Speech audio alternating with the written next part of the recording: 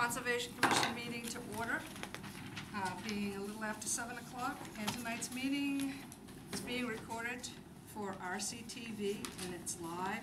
You can find it on Comcast Channel twenty-two or Verizon Channel thirty-three. Videographer for tonight's meeting is Rob. Check www.rctv.org for more information and replay times. Okay, first item on the agenda at seven o'clock is a notice of intent two seventy 6870 Border Road, map six, lot four, Hanson. Um, Denial. no, here we are. Right on the. Jeff, you're on. I'm on already. Well, I'm not even ready yet, so. Oh, good. Take time, Jeff.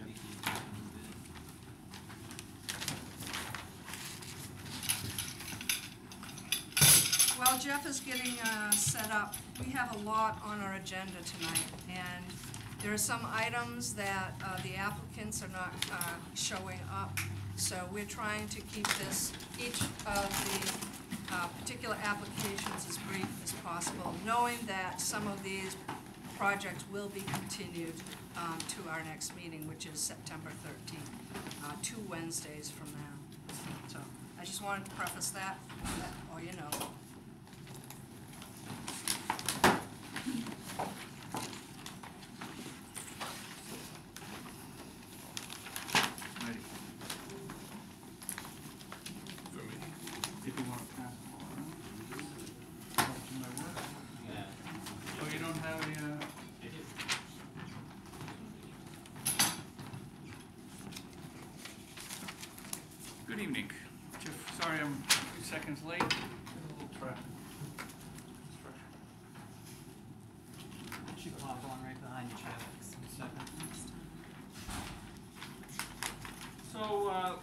Through a long list of things that we made changes to the plan at our last meeting.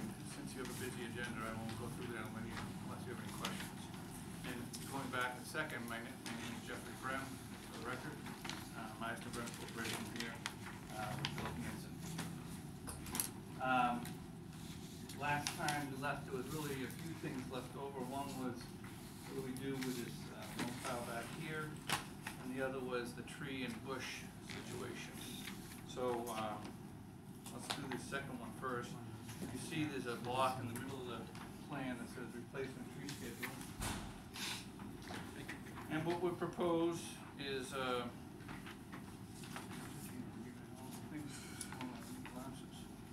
plan. Twelve trees are being removed, and I went through that last time, they're the ones that have the circle in them. And we're proposing a combination of shrubs and trees to Five maple trees, five pine trees, and seven shrubs in the rain garden, which equals two trees. Uh, The locations of those trees, uh, we did talk to Steve Erickson, Chuck and I, and Steve didn't get a chance to communicate all three of us at the same time, but I know that Chuck talked to Steve and I talked to Steve. And so, uh, his advice was to use local trees, which were the uh, strobus pine trees, eastern white pine.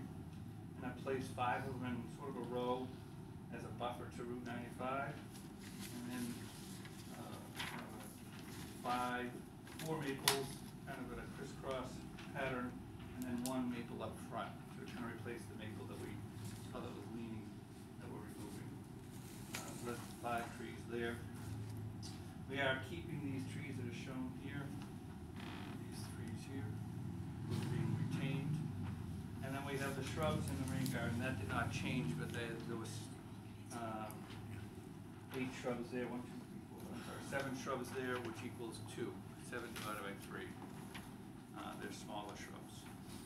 So that's how we arrived at that. The detail for that remains the same, the, the, uh, soil mix, planting schedule, the basin that we have directing it from the roof drain, all that remains the same. There is, uh, now what do we do with the loam pile? So Chuck had an idea, which we kinda like, and we talked about it with Steve, is to back end, again through three, to create kind of a, a low-lying area, sort of like a swale through here. And that's shown in the detail that I provided here. We would cut that down to a lower elevation than the loam pile that remains, uh, probably around one, one hundred. And that would kind of connect into this wetlands here, connect the two wetlands to each side. And then instead of one oh three, which is the same elevation of the building, dropped it down to one oh two, which will still be a little bit above the land around it. It'll be pretty close, uh, that way. My thought eventually is that this swale will eventually get some of the wetland plants that are associated with the stream, just by naturally. You know, the seeds would fly into there, and they're at the right elevation, they're real close to the groundwater. So this will establish some wetland adjacent to the highway. But we'll still be able to have the pine trees and the maple trees survive, uh, you know, the root structure and the, and the interface trunk and the roots in dry enough soil so that they'll survive and try to create a buffer. So we blended what everybody wants, I think. Uh, Took a little, took a little advice, and I think we, we came up with what I think is a good solution there. Lastly, I wrote a letter. You had asked us uh, to ask specifically for the waiver letter. I don't know if it got into your packets, I have more copies if you want. I don't think I, I didn't get it. It's on the other side of what I s- just passed around. Oh, There you go. Oh, okay. And uh, this is just indicating that we are asking for waiver for the walkway here and the stairs, the pedestrian path that's within the thirty-five, but outside of the twenty-five.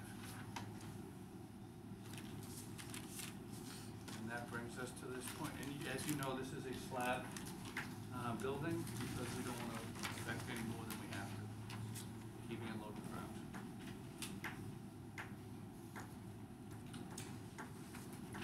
There were some questions that came up, I think, the last meeting. Um, Something to do with the, the the culvert, did you, I know that, that was one of your issues, Dave. Yeah, I I verified that the culvert head wall does start uh, on the town, pro- town property, and the stream goes off the property hundred percent, and that's what the head wall says. So it is town-owned, town-maintained head wall. Uh, We haven't done anything to it, to note that it is definitely in the town. Chuck, And, I'm sorry, we also, I did add install row of boulders to protect head wall and culvert. So what we can do on our property is protect on the front there, some boulders, so we've done that. That, I, I would think that's a temporary fix, and ultimately the town should build that head wall. And actually on your, your, It's actually shown on the right of way.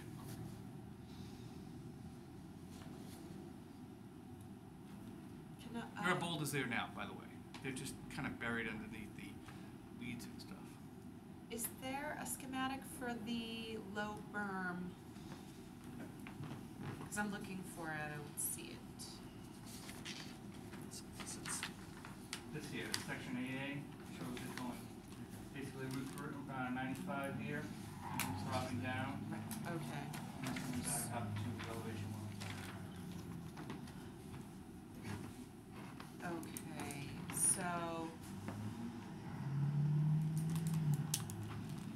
That's it, um, right here. okay, so let me, I just wanna understand, so, so the loam pile is not gonna go to one oh three plus or minus, it's gonna go to one oh two. Correct. So that needs to be changed on the plan. just saw that, the section is changed, the note Yeah. on the, on the pile is, we were at one oh three, and that, that was the Yeah. last thing I changed, just to make Yeah, that one oh two. I so- talked to Steve about that. one oh two plus or minus. And the, so, so the low point on the other side of the berm is gonna be, I think it should be field determined, it- because it- between Is- one hundred and one oh one is what I was thinking, but I think that should be determined not by me making that decision, but it should be ter- determined out there, looking at the surrounds. I don't know if Chuck agrees with that, but um, and is that going to if connect? the width field determined, I would think that would be good. Cause if it's close to one hundred, it might be something that could be connected into the wetlands nearby. Right? This, this, I don't think this is, There's not enough topography to make that determination, I don't think, Ms. Scanlon. I mean, I'm looking at wetland flag twenty-eight, wetland flag, it's either one B or eighteen, I can't tell. One B is right at the, at the, end of the right of way. Right, I guess I'm just, I'm just sort of looking at the configuration of that swale towards the end there. Um, I guess I'm wondering, instead of curving it towards, um, the, yeah, why not curve it the other way, or, yeah, That, that's fine. I, I don't know, I'm just, I'm What is just- this swale doing? It's basically to create a wetland area between the, the bur- the buffers that we're proposing and the highway. There is kind of, it got, drops down, and it goes back up steeply. So we're still going to have that down and up, only we're now putting this section and trying to make it a wetland. And what sort of plantings are gonna go there? How's that gonna be? Is that gonna be grass? Is that gonna be? My thought was that some of this jewelweed and other plants would eventually fill in, rather than try to plant it with new plants, let the existing plants take over. Chillweed, that's the invasive? No, it, it's impatiens capensis. Oh, It's, it's not, okay, it's a wetland plant okay. all over the place. Yeah, but here is the Any questions from other members of the Going commission? Back to your question, Ms. Gill, uh, the reason why we didn't connect it right to here is buffer. We- We're conscious of the fact that you don't want us to go closer than twenty-five feet. I know in this case, we're trying to make a wetland, so it kind of makes sense to do that. I'm caught on what to do. Uh, So if you were wanted to condition it to this end connect to one B, we'd be fine with that. I just didn't want to blatantly do that I, I'm just thinking if you're so close and if you're at, if, I mean, it would all, it's all gonna depend on your field call too. Cause if you're at hundred and one and you're not in the wetland, but you're slightly upland, you know, it's, it's, I'm just, I, I was just looking at it and just thinking, you know, it just might make sense for it to be as naturally contiguous with the rest of the land surfaces. If, if the intent is for it to connect, then it should just make, we should just make sure it's connected, and whether it shows that on the line on, on the page, or we just make sure that it's recorded that the, the intent of this swale is to connect the two. uh, That's fine. um, If it's that close, it- you might as well connect. Yeah. I don't- And kind of that's what silly. you're saying is a condition, and I think it's a field thing, and I know Chuck's gonna be out there, Steve's gonna be out there as part of your conditions, so. Chuck, do you have any questions, comments? I, I only have a comment. You guys are just looking at this uh, material now, and I haven't looked at it at all. So just keep that in mind and with, with what we've done. It only, it only came in yesterday, and we were crunched by a couple of other things in town hall. So we typically take some time to, to look at these things, so, I'm, I'm okay with it, personally. I'm fine with it. So you, you're saying basically with this here, if you were to, to give an elevation of that swale that's gonna be behind the loam pile, between the loam pile and Route ninety-three, that you're shooting for around the hundred-foot grade? About hundred, and I think the determination should be made in the field with Chuck and Steve's decision. And then, that elevation s- changes the types of plants that are gonna grow there. If it's a foot higher than the wetland, you're gonna have different plants than it is if it's at the wetland. Well, I, I don't think it should be decided in the field because it, it could be a decision between whether it becomes a wetland or it doesn't become a wetland, and that's pretty pertinent to what we do. So I think we should have some say on that. Well, if you Um, set it at one hundred, I'm sure it'll be a wetland. I just don't Yeah. want it to have water standing in there, that's my concern. So we could say at or near elevation one hundred, and that would probably be fine. So if you look at your elevation line near wetland flag three A, Yep. that's at hundred feet, and then elevation near wetland flag, um, oh, on the other end, and that you're talking about, it's right there at hundred, so you're, you're right there. Right. So if you keep that as hundred, those two will connect, I think so. theory. That's a hundred-foot grading level. I just caution you, that- and you know this already. Oh, yeah. that They're, they're just topo lines Yep. created by various points, You need so they're not that exact. yeah. It makes sense to look at this a little bit further. I think Um, all these suggestions are a great ideas. Um, No plans, um, definitely an improvement. I think if there's, if there's anything we see, it's, it's a good time to give them suggestion, but I, I would concur, I, I think, you know, we typically wanna see something ahead of time, we wanna have time to prepare, I think my big, Chuck is a huge resource there, I want Chuck to have time to sit down and review it as well. Um, Any comments from the community on this project? I move we continue. Uh, just for, do we have any, uh, I, I don't, do we have any issue right now with the letter for the variance, are we looking for anything more? I just wanna, again, make sure we're giving feedback for what we have received and what we have a chance to look at. Have had a chance, or if we're, we're expecting something new, that they, under- they have time to prepare as well.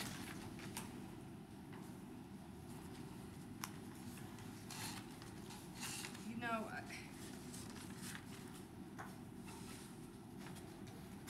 you might add in the waiver letter something to the effect that you are removing that dirt pile and, you know, planting native plants in that area that may, may not become a wetland, but I think that is a public benefit. It increases the habitat, so you may wanna put that in there. Form of mitigation, in a sense. I think we had talked about that in the past. Yeah, it helps the cause, so, For the record. yeah. Um, Do I, you made a motion to Continue. continue? Do I hear a second? I'll second. All those in favor? Can I ask one thing, and I don't know if it's appropriate? Um, Since we're gonna have some time, is it appropriate to plan on closing the hearing and issuing an order at the same night? Is that, is that ever done? You'd have to prepare it in advance, of course. There'd be assumptions made that the Chuck has reviewed it and is acceptable to it. It's- It's fairly rare that it happens that way, but It has Um, happened though, um, depends You- on the you would have to- situation. The So only, the your- only thing that I would us. add to that is, if, now that you have the opportunity to review the material that just came in, if you had any questions, they wouldn't be part of the order. I mean, I could write an order, and if it wasn't a lot, we could add to it, but if it became substantive changes, then I, I wouldn't recommend, uh, approving and issuing, uh, as amended. and, and so there's no requirement that we, look, I, think if, Chuck, if you find something in reviewing that we, that you have comments to that we need the applicant to see, or that you want the commission to, to review, or any commissioners has something, we can come to that next meeting, I, I completely agree. Next meeting would be the, if we've got substantive comments, we shouldn't be approving at that meeting, it doesn't mean that we can begin to prepare something. Um, I guess that's my, just my take, I, I, I think, I, I understand the, we have, to- I- I'm of the opinion, we wanna have time to review this, but just at first look, I think it seems like they've addressed the comments that we've, we've asked for. So if we've got no further comments right now, you know, it seems like we should have the ability, should have the ability to start preparing a, an order.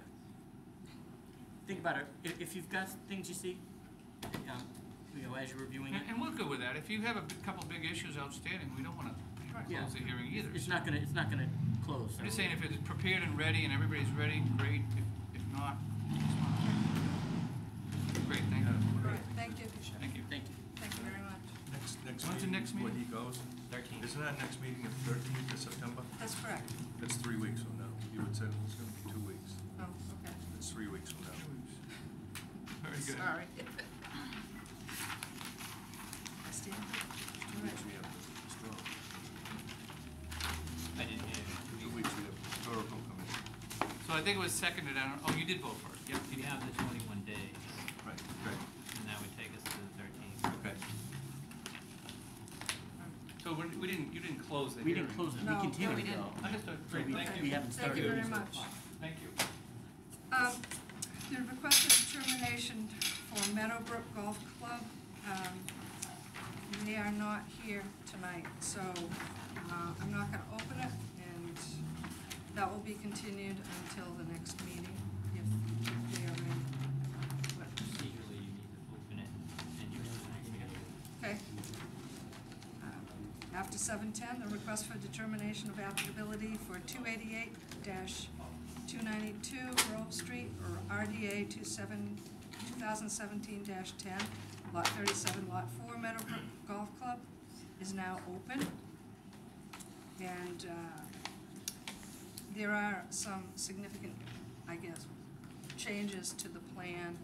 Um, they went before the planning board, and one of the members had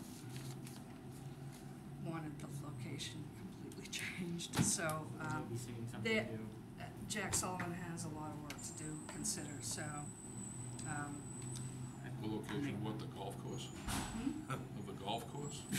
Take a the, the, the uh, clubhouse. I make motion to continue. Second. second. All those in favor? Okay. Being past seven twenty, we're here for a notice of intent, two seventy 683 parcel zero, Haverhill Street, map fifty-seven, lot seventeen, Gillis. Um, in our last meeting, we approved this project. And we have an order of conditions.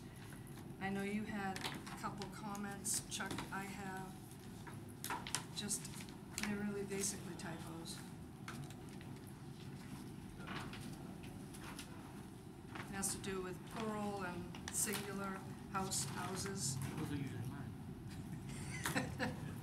Um, and that's it, very minor. Chuck, I'm gonna give this to you. I know Mike reviewed it. Did uh, anyone else have any comments? And uh, Harry recused himself from, I reviewed it, I didn't have any, from this hearing. any problems with it. No comments. Um, so Chuck, the only comment that I had, and I'll just bring, uh, there were a couple things included in there about clearing the culvert, um, or the in- intermittent stream in the culvert as part of the conditions. Do you know where that was written? I think it was finding, it was in two locations. Um, So it was in the uh, operation and maintenance area? I th- operation Yeah, and maintenance. That's where I started to look, but I thought it was somewhere else too. And I there was didn't- a, I think it's number eight, I believe, I meant to put the number on there. Um, And the only thing, I, I think we make it their responsibility to clear the culvert. Culvert. And I, I don't think we can or, or want, should do that. But I think it may be okay to put in language that they should make the best attempt to keep it clear or call, but I, you know, it's, You're saying the culvert opening. Just the uh, not culvert. the culvert. Make an attempt with the culvert, I- yeah, but with just the culvert, the intermittent stream, it's their Intermittent- responsibility. intermittent streams on their property. Okay. Right.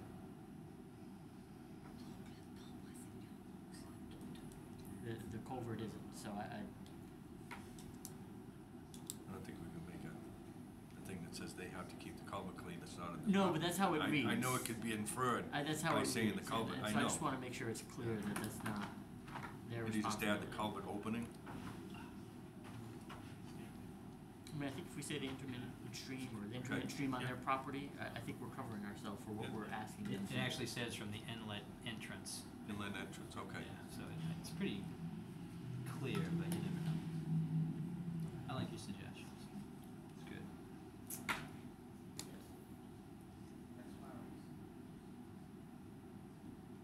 That was the only other thing I had.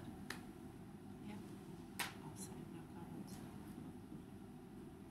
So this, this is still open, still, No, I think No, we we voted to, We closed it. Closed it. We We just just need need to to- vote to issue it and Alright. then we Make can a- sign it. I make a motion to issue the order of conditions. Second?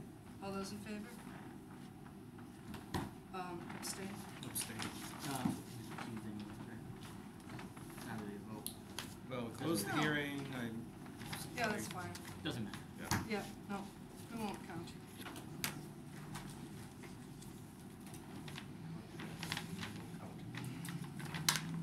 She doesn't want-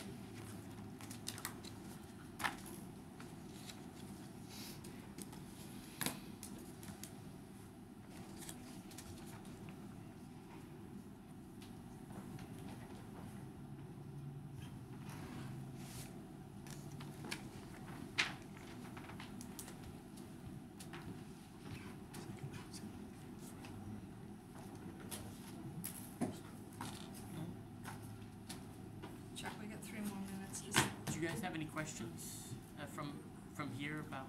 Um, Chuck, do you want to explain to them? There's a Procedure? yeah. So, uh, I issue this tomorrow, and I usually send it out, uh, certified mail, but you can come in and pick it up. It needs to be recorded at the registry of deeds before any work can start. Um, but you can start your next step, uh, at, at any point, but it does need to be recorded. Uh, and then all the conditions inside that order, which I recommend you read, uh, uh, will tell you what to do. We have a pre-activity meeting and certain things are needed through that, so most importantly, you need to get it recorded though. Okay. I'll come in and pick that up, Chuck. Sure. Uh, nine, nine and Tomorrow? ten? Ten o'clock? Excuse me, does that mean that the property has been sold then already? You said about the deed, does that mean it's been sold to a new owner? The order of condition has to be recorded on the deed, whichever is in place, uh, now, and that will just transfer throughout the deeds, whoever But It's picks still it up. owned by the pri- previous owner, no money has been changed? Well, I don't have any information on that, but I would assume it is. Yeah. Have, have you gone there already? address. I'm, I'm in the process of buying his. In order to purchase it, I had a condition on my s- purchase that I would be able to get a building on the property before buying the property, so. Okay, because last time we were here, you kept referring to my property, our property, like it was a done deal, I was just asking you. It's, it's gonna take three. It- Okay. It has not been, done, it's a work in process. Okay, we, we're moving on, but thank you. Oh,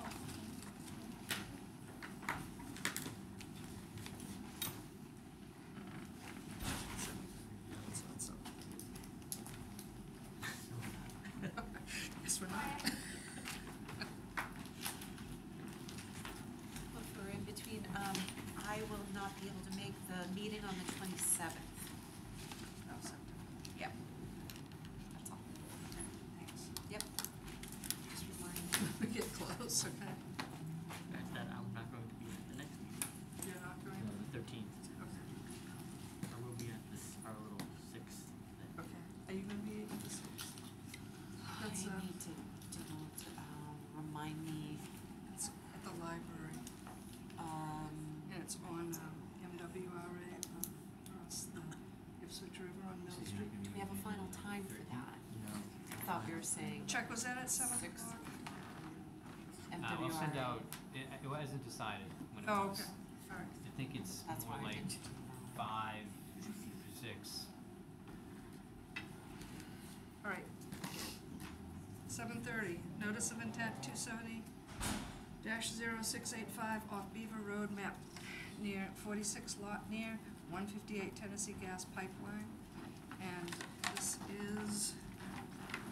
notice of intent, and it's a public hearing is now reopened and being conducted concurrently under the authority of the Mass Wetlands Protection Act, Mass General Laws, Chapter one thirty-one, Section forty is amended in the Reading General Bylaws, Section seven point one. Hearings conducted, the applicant will present the proposal, commission receives reports. Uh, commission will address questions and comments to the applicant, and public will be given the opportunity to ask questions. And you all signed into attendance sheet. At this time, I'd like to introduce the members of the Conservation Commission, starting on my right. Bob Hayes. David Panett, Harry Curtis? Anika Scanlon, Vice Chair. Rebecca Longley, Chair. Michael Flynn? Chuck Troney, Conservation Administrator. All right, why don't we introduce oh, ourselves? David Biancavello, BSC Group. Ingeborg Hegeman, BSC. Habits Peller and Kinder Morgan. Matt Nowak, Kinder Morgan. So I think the first plan that we could open is the ortho, which is the last one on your list. I also have it. So should I stand or sit? Whatever you're you comfortable want. I just wander around and just get kind of I tired. Those, those are the only two options. Okay. So, um, Can I just ask, um, before we start, were there any materials sent out ahead of time, or is this the first time we're seeing this? Well, this is the first time we're seeing this, and they just finished up with uh, engineering, the town engineer today. There was a lot of back and forth on that, and they actually came in and met with Ryan and then prepared uh, what we're looking at right now. Uh, it is last minute, but Ryan was um, the key to what we asked to get done. So now we're just going to see it for the first time. Okay. Okay. So I, unfortunately, Diana Wall, who was here last time, is on vacation, so I'm stepping in. So I hope I don't repeat myself or not say something that you need to know.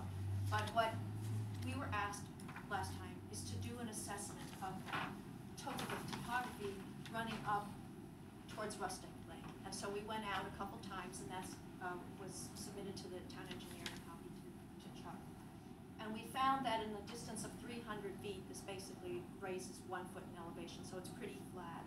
And in addition, the, in, the culvert here is actually lower than the elevation of the stream bed here, so it's definitely sort of an old constructed drainage ditch that was probably constructed through previous old wetlands. What we have here and, and there, if you wanna see it in hard copy, so it's here, is we did a profile. This is the pipe elevation, and then based on the comments from the commission, we looked at two alternatives. One being sort of this flat, putting a mat flat over the existing pipe, and the second was to do a concept of a low flow channel in the middle. You can't see them because they're pretty much almost the same. I think the differential between the two is that the, um, we call it sort of V flow or low flow channel option. Because the low flow is still controlled by the base elevation of the pipe, the sides have to be raised a little bit. So there's a little bit higher water that stands behind it because the water is directed into this narrow flow channel and it sort of backs up while it's waiting. It's like a merge in a highway. So it causes the water to be just a little bit higher than if you had what's called, just what we're calling the level option, where we're literally putting the matting over the pipe. The pipe uh, will of, the mats are about four and a half inches in depth, but they are cut so that each, you can sort of manipulate, they're like waffle, that's the best thing I can think of. So you have the low points and you have the high points. So the, we assumed the high point as the control elevation. We have photographs if you want to see them, but in antici- we anticipate that water will actually flow through the low. But to the extent that there were to be some debris that got caught, we took a conservative approach. We determined that um, the raise in the water, you can sort of see it here. We identified it running up, there's a thirty-six inch culvert here, which brings about four, uh, point, almost half an acre, under half an acre of water, stormwater comes down through here. There's a small watershed, a small wetland over here that drains down towards here. And this basically comes up and goes up slightly into the pipe, we got all the inverts there, it doesn't surcharge up into the street. So it's about a four and a half inch rise. Um, That's a quick summary, and I'm sure you have other questions, and we actually don't know, we had a lot of conversations. Oh, I know, one thing I just wanna say, because then we can get to what the town engineer may have said or is about to say. Um, If you go to your uh, file, I'd like to point out one more thing on the profile that we changed. And it would be recommended flat cross-section. Because of the higher elevation, it's our recommendation that we go with the flat cross-section as opposed to the V control cross-section or the low flow.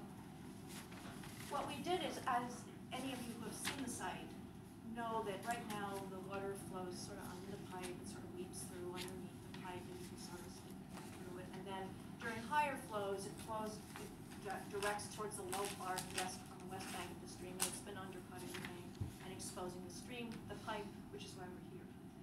So our proposal is that in fact, we put this matting flat on the pipe. And what has to happen is that we'll excavate down, put the matting and backfill in. And that's where you have the impact of the wetlands that you probably talked about last time. What we wanna do to try to replicate the underflow is there had been some limestone proposed here. What we talked to with the town engineer was if, to see if we could get some stone in there so that we could replicate that underflow. Kinder Morgan, Tennessee Gas has a certain specification that they have to adhere to. The town engineer had talked to Dave Biancavilla about using three-quarter inch stone surrounded by a sand bed. Kinder Morgan would prefer a half inch stone, So I think what this is boiled down to with, um, the town engineer is this half inch versus three quarter, and I don't know if you've heard anything. I, yeah, update is, uh, he you were, Yep. you wanted smaller and he wanted Bigger. larger. Yep. Yeah, So I don't know where that's gonna end up, but that doesn't, you guys will have to figure that out. Yeah. I mean, that, That's, I don't think that's gonna bother, uh, something that we need to decide. Yeah. well, I think if you were to issue based on a plan, you have to issue plans with your order, or with, hopefully with your order, that, um, you could rec- s- list this as part of your plans and put in a specification, or wanna just, if you, I don't know if you, sometimes commissions will say, please send us a final plan after you finalize the discussion with the town engineer, I don't know how you guys operate on that. Or we could just say, write the order of conditions specifying the three-quarter inch stone. Tennessee Gas will go back to their engineers, work with them to see if there's maybe more sand that goes around it, because the last thing you want is stone on a high-pressure gas pipeline. So, and that if that didn't work, we could come back for an amended order. So those are some of the choices that we thought you might want to consider. What were the, what were the pros and cons of the two sizes? I'm sorry? What were the pros and cons of half inch versus three oh, quarter? Oh, I think, I don't wanna speak for the town engineer, but my understanding is the town engineer anticipates that there are more voids in the larger stone, so that there'd be more flow through, They as opposed to the half inch stone. So that's, that's the rub, you know, the point is we're trying to replicate what's happening there by keeping the pipe structurally supported. So, so a what, what, processed half inch stone and a processed three quarter inch stone will have the same permeability. It's, it's, it shouldn't make a difference. I mean, that's. You as get long an as issue is they out. want cushioning underneath the pipe, so they didn't, which is why they wanted sand mixed in with the, with the smaller stone, so that's more of a cushion and not this larger rock that could have sharper edges right up against their steel pipe. okay. So that's the presentation, I'm happy to. So, um, so would there still be a sand cushion with this? So the combination would be to mix sand with the stone, and that would provide the cushion on the pipe. Got it. Um, and then the whole thing would be wrapped in fabric. But we would definitely use double wash drainage stone so that we wouldn't get the fines into the, the fabric that's wrapped in. Oh, you, you I can mix tell you the from a stone permeability and sand together Doesn't matter. in It the, doesn't. in the co- uh, landscape fabric and then putting it Yes. underneath the pipe. Yep. I didn't get that out of the, out of what you wrote. I thought you were, there were two separate things happening. No, it would be the sand with the stone mixed together, all wrapped in fabric, because you couldn't, you did the sand separate, it couldn't get, it would get into the stone eventually. And the fabric that we're using has a water, they call it water flow, and I gave that, that might be in your, or did, did we It do is that? in there, yeah. Yeah, so it's, um, I don't it's- no. The specification for that, Oh, I didn't. Geo- get it. Like fabric. eighteen gallons per minute per square foot. right, so if you s- add up, like, you know, you get a certain, certain kilo of gallons per minute that go through. Question, I don't know if this got answered before, and I, I, I wrote a little letter to the board, I didn't hear back from anybody about what, that was a good or bad idea, but that pipe was covered with cement for a reason years ago, obviously it was pretty close to the surface, so the intent of the cement was to protect it. Do you have Correct. exposed pipe anywhere? Yes, So the bank is eroding on the side of it? No, no, I understand that, but I'm talking about throughout your pipelines, You've got millions of miles of pipeline, it must, that must, it must be exposed in some places, no? Yes. Is it encased in cement, when it, is it, is that, is it exposed, or is it a different kind of pipe, or? Well, it depends, it depends obviously if it's through a stream or not. A lot of our exposed pipe is not through a stream. Does it not make sense, because another concern is for, at least my, my concern was the backup of water and stuff like that, that's gonna create this huge incubation place for mosquitoes and whatnot, but if, if it's left the way it is, if the bank erosion stopped, would there be any safety concern? We have people with the pipe being as it is now? Safety concerns with the pipe, well, there's concerns about people, yeah, things coming down and hitting it and such, or people walking across it and getting hurt. That's a concern, of course.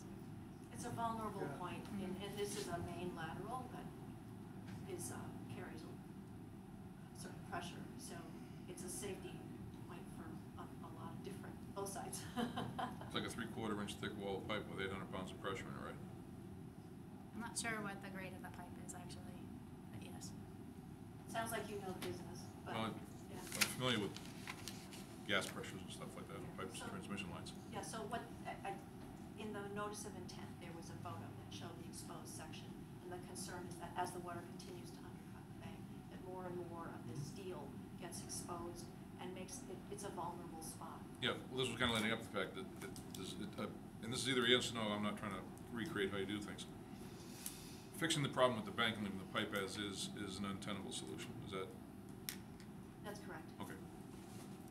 Answer my question? Oh, Thank you. okay, yes, it's untenable to have that exposed. All right. Is, yeah.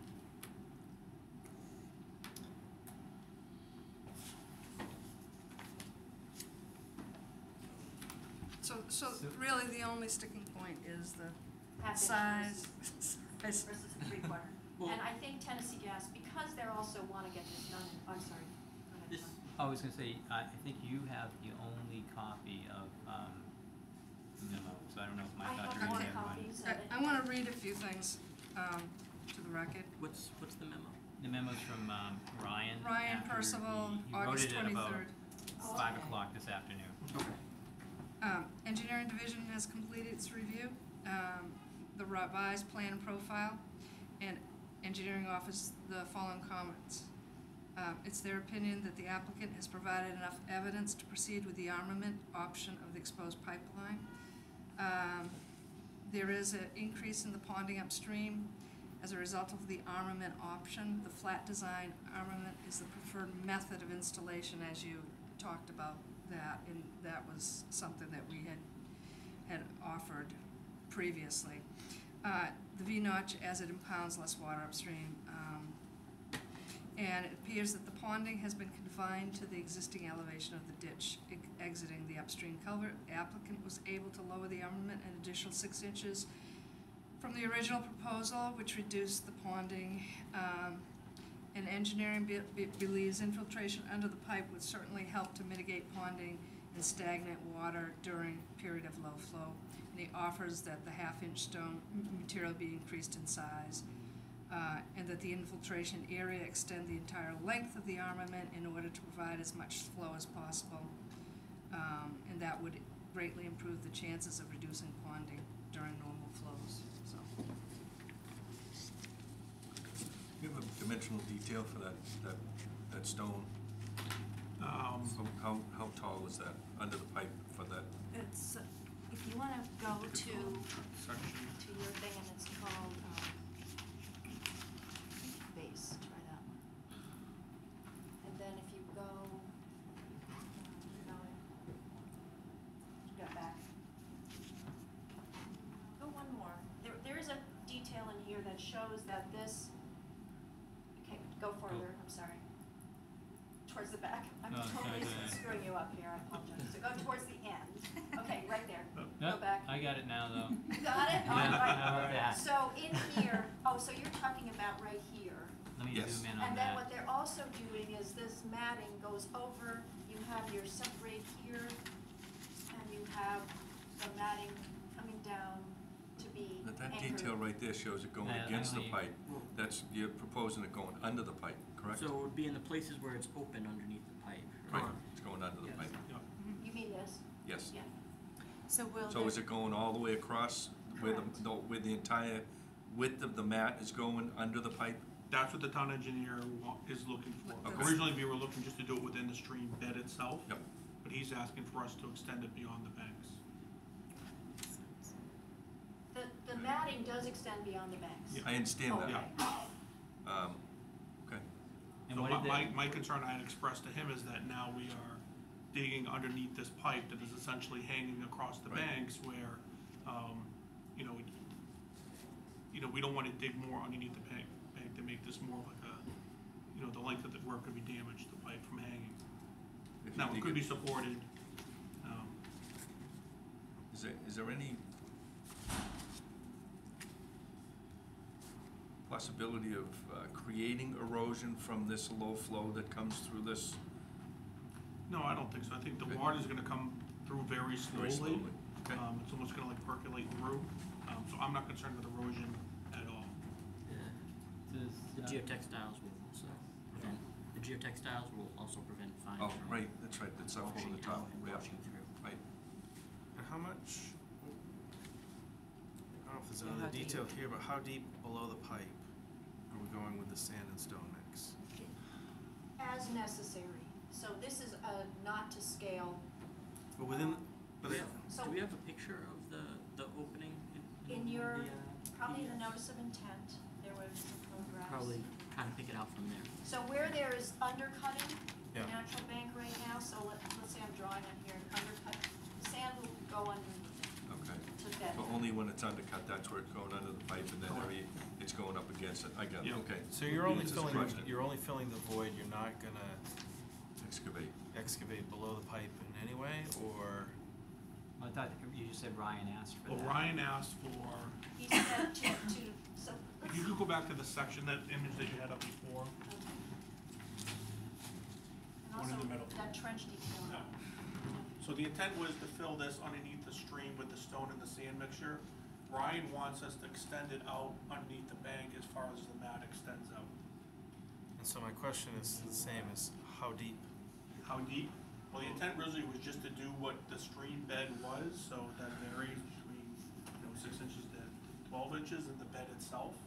Um, but if we were to do the entire pipe, we'd probably extend it twelve inches below the pipe.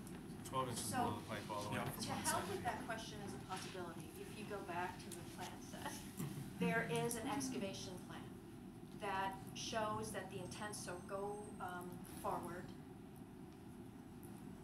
towards, there's a, go, no, the other it the other way. That's, that's why they call it Your port other and left. starboard, so it Towards doesn't the matter which way beginning. you're facing. How are we looking now? Um, that one.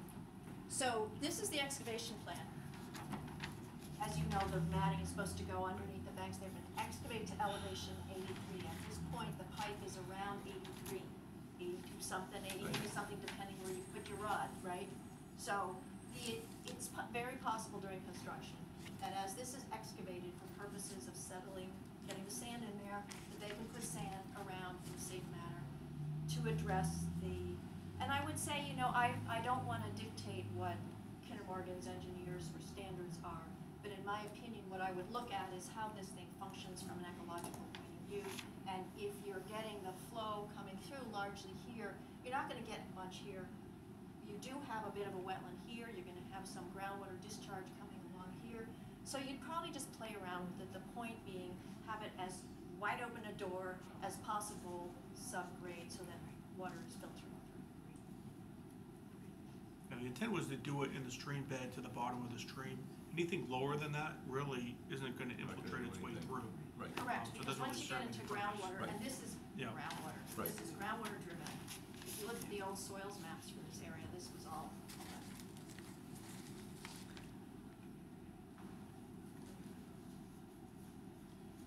Any other questions?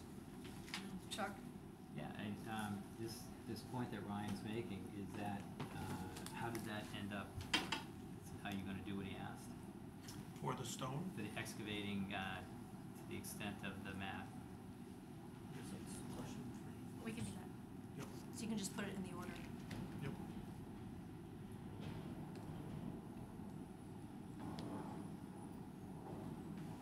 I did have one more question. Um, so on the V notch, the uh, low flow channel, when is the uh, stream still contained within the drainage ditch um, with that option? Yes. So both options, They're like it's a- contained. It's like Yeah. less than an inch difference in elevation, but the other one is, the V notch is higher because you're creating this traffic jam. So, Ingeborg, Yeah. what would your, we were hoping to get the V notch. We thought it would, uh, it's more natural. And maybe something like that would, would happen anyways in the stream, and it usually does. Um, what would be the reason why we would use the other one? If it, if it seems from what I just heard that it doesn't really make a difference. It doesn't make a significant difference. I would say, you're absolutely correct, because a stream will create its own thalweg. We'll try to figure out where it wants to go based on topography, soils, where groundwater is coming in, all those different things. In this situation, you have a very thin stream. It's not self-cleaning, it's not scouring, it's not creating its own thing. The only reason you're seeing evidence of flow is because it's being directed to the west side of the stream the other piece is that this is largely stormwater driven, gets a lot of the stormwater from uh, the neighboring uh, streets. And if you uh, look up gradient, it sort of, it goes under rustic, I'm not getting this wrong, in, through this piping system in it, the pipe. Yeah, there's, you know what else, here, on here, this is good, if you put this in here. We got from the town engineer, he was very, very helpful, and he gave us this old nineteen seventy-something stormwater drainage plan for the streets, which gave us some insight into what's going on here. So I guess to answer your question simply, is that this isn't the kind of stream that has the energy that would really create that, and with the increased backwatering, even though it's a small amount, there's not really a fisheries value, there's not really cold water fisheries, there's, those are my answers, but, you know, that's up to the Also, commission. in, in my discussion with Ryan too, his preference was to have the Oh, water sorry. potential from ponding behind it as low as possible. Yeah, That was his Right. biggest I think concern. I, I just, just to that point, I mean, whether, if it, even if it's a, a small difference, I mean, I think this commission asked, asked this, you guys to go back and look at this because we wanted every inch that we could get, uh, from backing up, so a small difference seemed like it was beneficial previously, I think we should take advantage of that, particularly if Ryan's recommending that and, and the applicant's recommending that. This is so illegible, I can't even find the site, but basically, I'm trying to find rustic on here. Can you make a bigger chuck? It's this side that we want. Okay, let's see what we can do here. Yeah, then focus in, yeah, so then do your scroll thing. Here's rustic. Okay, so then go down. No, wait, I'm sorry, go up. There's the corner Oh, that's right right. there. That's the corner, here's your pipe, so you go to rustic. So this, okay, right here is perfect. So what we have is this ditch here, which ends here into a pipe. You've got a thirty-six inch culvert that goes to a manhole, catches your storm drain system, continues here. This backs up.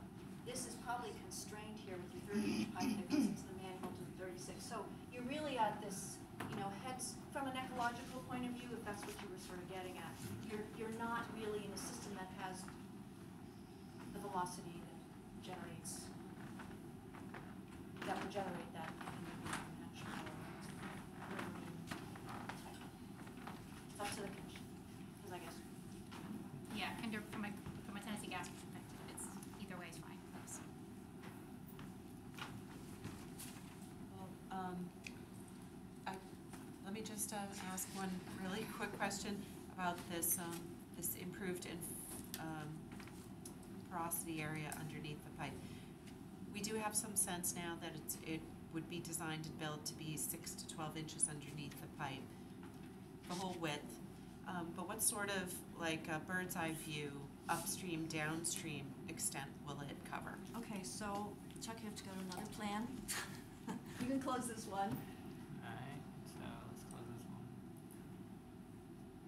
and then go to the plan that, that- no, um, the one that you had open, the, that one. This one here? Yes. So this is your excavation plan. If you move, um, to the plan, one after this, like towards the end. Towards the end. So If you sheet want- three, perfect. You could even just mark up on there if you've got an approximate plan limit of where you think it. So bird's eye view, Yep. this is your pipe, this is the stream flow, this is your extent of materials. Armory. Yes. Yep. Does that help? Okay. And then it extends through here, but is covered again with the soil, and then it's covered with a stabilizing fabric. Okay? Yeah, I think, um, I'm generally, just to speak up, I'm in, I'm in favor of, um, im- having, having this designed and built so that, um, the permeability of the materials it's constructed of is kind of maximized to the design practical limit, you know, still achieving the goal of, of protecting that pipe and doing what it's, the job's supposed to be doing. Um, because clearly the armoring, as you know, is going to interrupt the base, the natural base elevation of the stream and, um, and making more porous material around it, makes that water backup problem, um, probably a little bit less. So makes it hopefully, you know, function a little bit closer to normal, whatever that is for this stream right now. So just wanna say I'm in favor of the, the increased, this, this latest design. And the, the V-notch, I'm, in favor of, um, the memo from Ryan, um, taking out the V-notch and keeping it flat. Just, I was a little confused with it. I was like, I, I didn't wear. Well, I mean, we had a V-notch before and, and it was, we were saying, well, it's raising it six inches. I, I think what they presented is a flat option that's removed that six Right. inches. So, to me, we asked them to go back to the drawing board, they gave us something better with the flat, flat option. So, I think, I think we're all set. Are there any comments from the community? Hearing none. We have some options. We do have a, Chuck did put together an order of I conditions. did. Um, Let's talk about conditions. That would be great, if there are any, outside the boilerplate conditions. I have one question, certainly about the conditions, but that's, that's the bridge to the right of the pipe, right? The Yes. driveway. Yep, And, yeah, is the bridge upstream of the pipe? down, Oh. downstream. The bridge is downstream.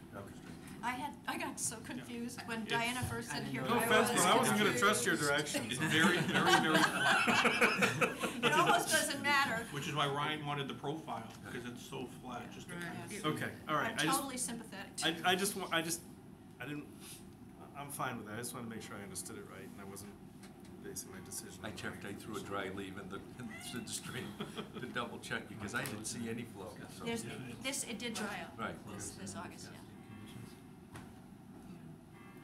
Like right now, close first, then discuss this, the conditions. I make a motion to close. Second, All those in favor? Um, conditions, any additional conditions that you guys can think of? I mean, um, we're- just in terms of this project and how it's gonna happen, there's gonna be uh, erosion control, um, Yeah, that's all in the plan. there's gonna be erosion control, there's gonna be, um, water, um, management while the excavation's happening, right? Should Right, um, and ideally, it's in this dry season that we're quickly approaching here. I think to add on that, while you're digging under the pipe and around the pipe, if we have a rain event, what's the plan to get that water from point A to point B? Some sort, If we have some emergency storm, if you have a. Come Yeah, through? you know, what would be the, just document what the plan would be if you're gonna have a three-inch thunderstorm. That we have those, but, uh, you know, if there's gonna be a lot of rain, uh, what, you know, would you put a pump in there? Would there be a stilling basin? bypass. How do you deal with that? That's in the order of condition to have uh, dewatering, they probably would have that set up anyways. Okay. But it sounds like you might be asking for a second one, just in case. I forget, how long is the project from start to finish roughly? Estimating what, two, two to three weeks? Yeah. Okay, I didn't think it was much longer. I thought it was about that. So, I, I think I would like to see some sort of, um, inspection at least recently to make sure it's performing as, as we want, that there's no, we've had some discussion about, I I think when we first started about erosion on the banks further on or upstream, um, just, I think we, we typically on, on similar projects like this, we require some sort of Post, post Monitoring. post construction. monitoring. Is uh, Pre and Diane post? or, s- or Mike or someone available to Do pre oversee and the- post? Yeah, Yeah. I can do it too. great. It's not like I can't go in the field anymore just because they're doing I a project. hesitate to say that, but sure, would be, You can just I'll say, just write down a in the order, qualified. our forest choice. Yes, yes. Yeah, Um, And then there's bank stabilization with natives. and, uh, You know, the armament's gonna be tucked into the bank, right, so the bank they're can be stabilizing with seed. Good. Well, and we also have a stabilizing fabric Mhm. is on, if you wanna go back on, Okay. Back. Towards the end. a higher number. That's forward. Oh, all right. No, Pat, that's pretty good. Um, So, yes, that's the one, exactly, the TRM. And then it references the detail sheet towards the end of the plan set. So, are we gonna get copies of these latest details? You have them all. We have them all. Yes. The email? Or Chuck has them all. Chuck has them. Okay, They were sent all today to the town engineer. We have electronic copies. okay. Would you like X number of hard copy ones? Y- If Chuck would just email, I'm I fine need, with an I need email at least one. Oh, I have one. I think I have one. Yeah, I have one. So we gave you two. We gave you the V-notch and the flat. I can give you both of those, and then when you write the order, just reference the one that's the flat. But, um, we'll find it. We'll. I'd just like it emailed. Just want to take a look at it. Okay? Alright. Um, there's a couple things that, uh, just a little tidying up the administrative part. Oh, yes, you do. You guys owe us some money, Yes, you do. and I was am wondering if so the sorry. totals for the disturbance has changed, and if you could. Don't do that now. You guys agreed to a number. I have a ten thousand dollar check here. Do you need me to No, write no, I another just wanted to do one? it for the file. Just for the, for the application. First of all, you got all these. Alright, And then I have a ten thousand two hundred forty-eight dollar fifty cent check based on what you and I had talked about last time. I used the name wrong. No, I The town name. What am I supposed to write? Oh, Mike, Chuck. Mike Oh.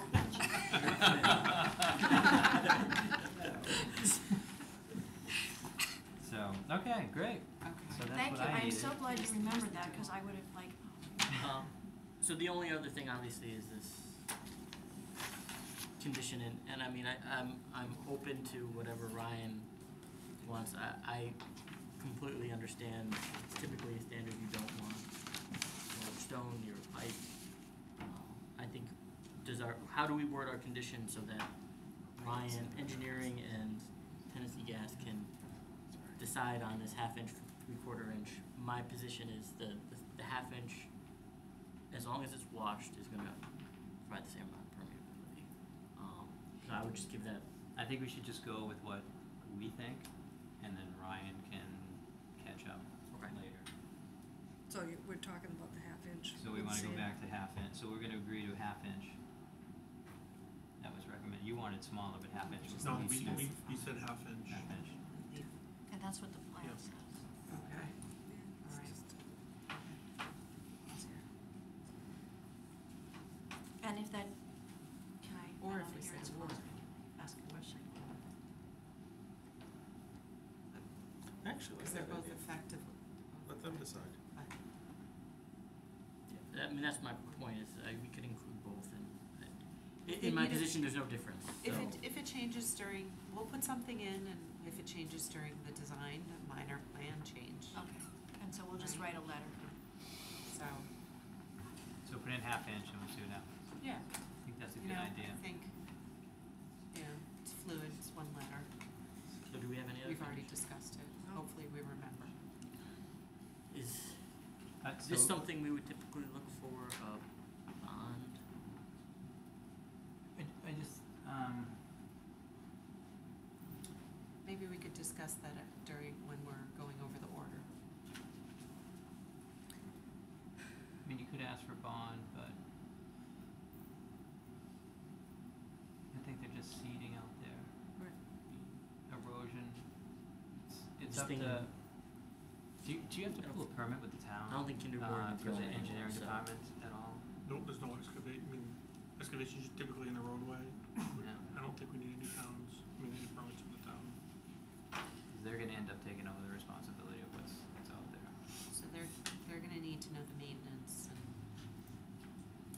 They, they do maintenance anyway, which is how they found this. You know, they're always Right. going through and checking and making sure that there's structural integrity as well as erosion, no erosion, and that things are flowing properly, so.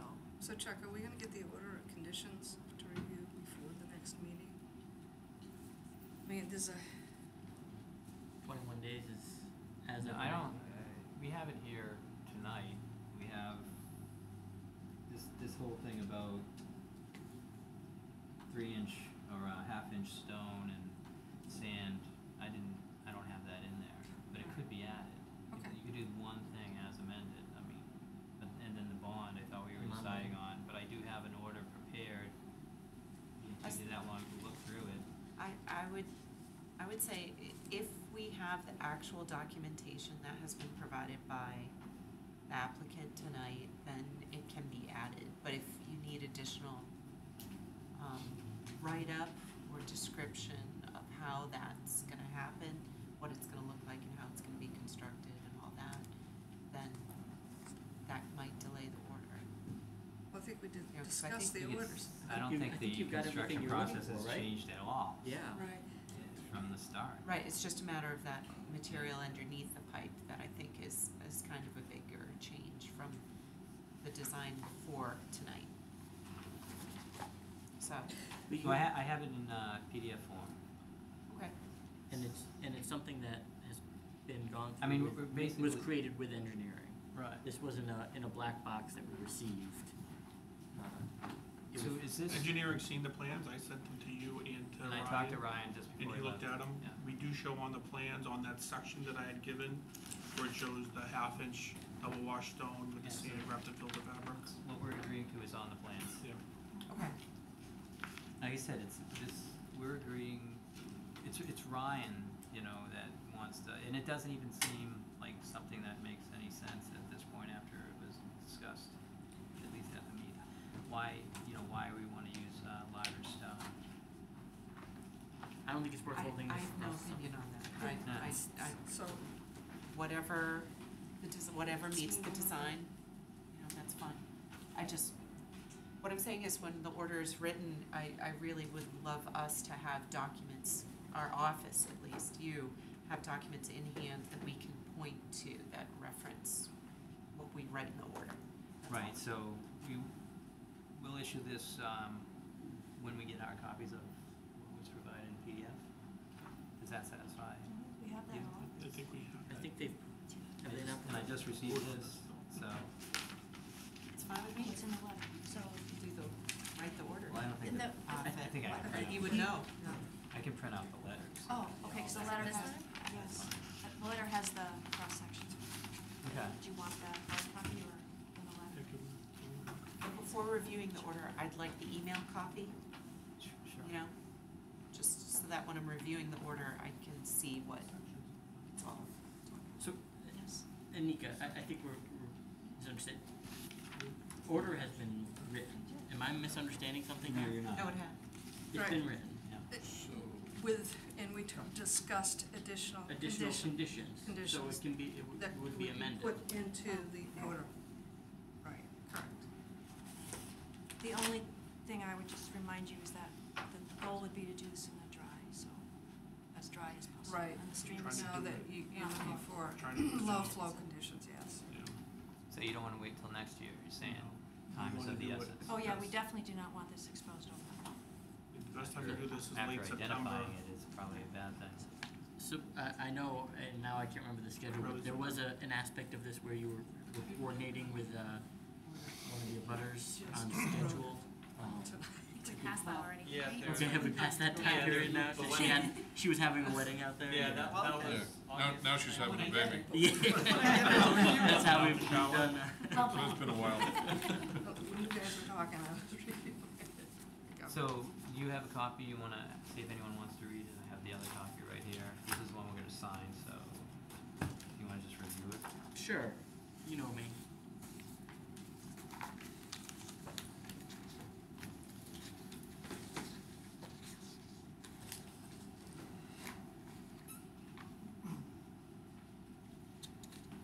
Chuck, I can So, find so it. with, with the documents included, Uh, only if you take them off, you're gonna take them off the will board. that include what we received today? That's really, Would, would have, So we need to add I have that. so many of those in my office, it's like, Oh, like yeah. there's no place to put them. alright. So Chuck, we need to add the document, documents That you received received today. today. Yeah. as well. start doing my green. Okay, we'll do that.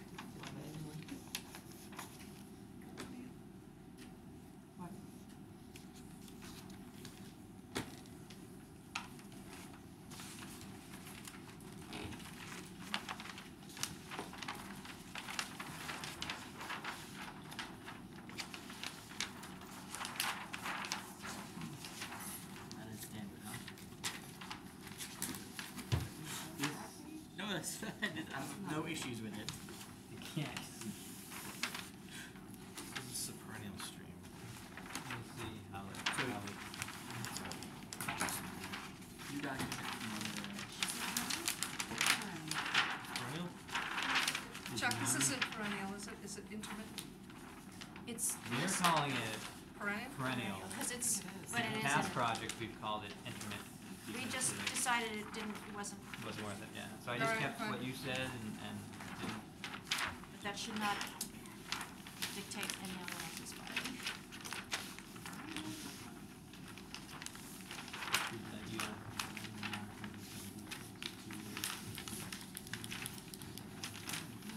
Stop making fun of slides, It's just a lot of general stuff that is associated to this.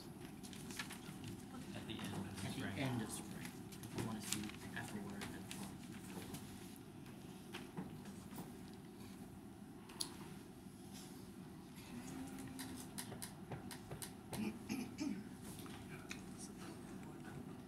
Yeah.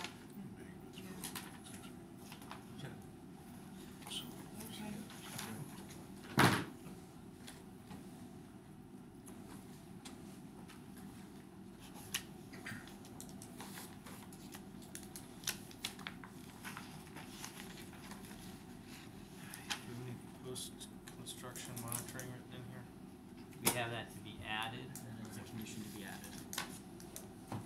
and a report in the, at the end of spring two thousand and eighteen.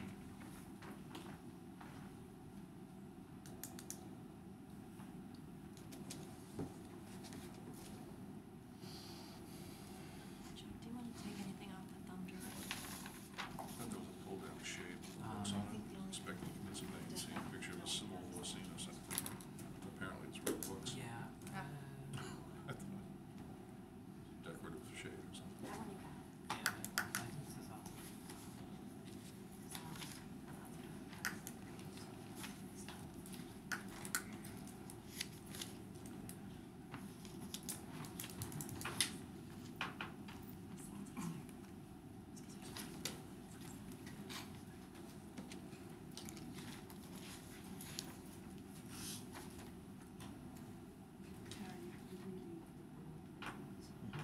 Yeah, those don't change. Don't spend too much time. Well, let's not get me started. No.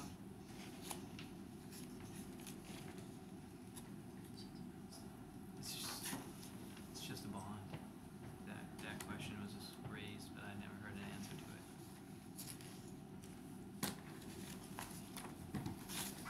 You guys doing this project, is there, uh, going to be any closure of that driveway at all? While this is taking place? to fix it and erode. Is there gonna be any closure of the driveway to, for access to those folks that live up that driveway? Uh, no, the driveway will remain open. I mean, Has to remain. There were-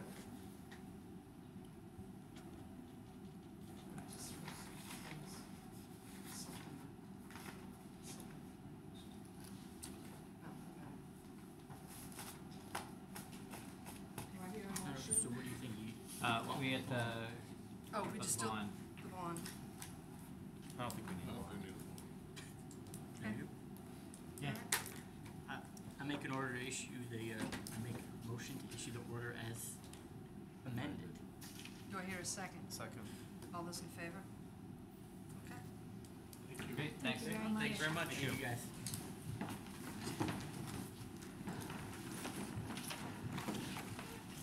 What you could say, uh, you can send it to me, anything that you think is missing, add it to uh, the file. And we have a file file too, The only it's right on top of thing the that I page.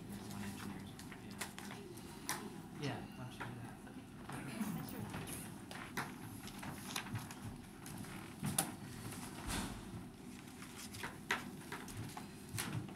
Okay. We actually have three notices of intent, uh, that are basically contiguous to one another. And we're going to, um, open the hearing as one hearing. Uh, we'll, um, and this is Notice of intent, 270-56 Gray Coach Road, map forty-six, lot fifty, Fay. Notice of intent, 270-62 Gray Coach Road, map forty-seven, lot ten, Triglione. And notice of intent, 270-3 Carriage Lane, map forty-six, lot fifty-one, Thomas.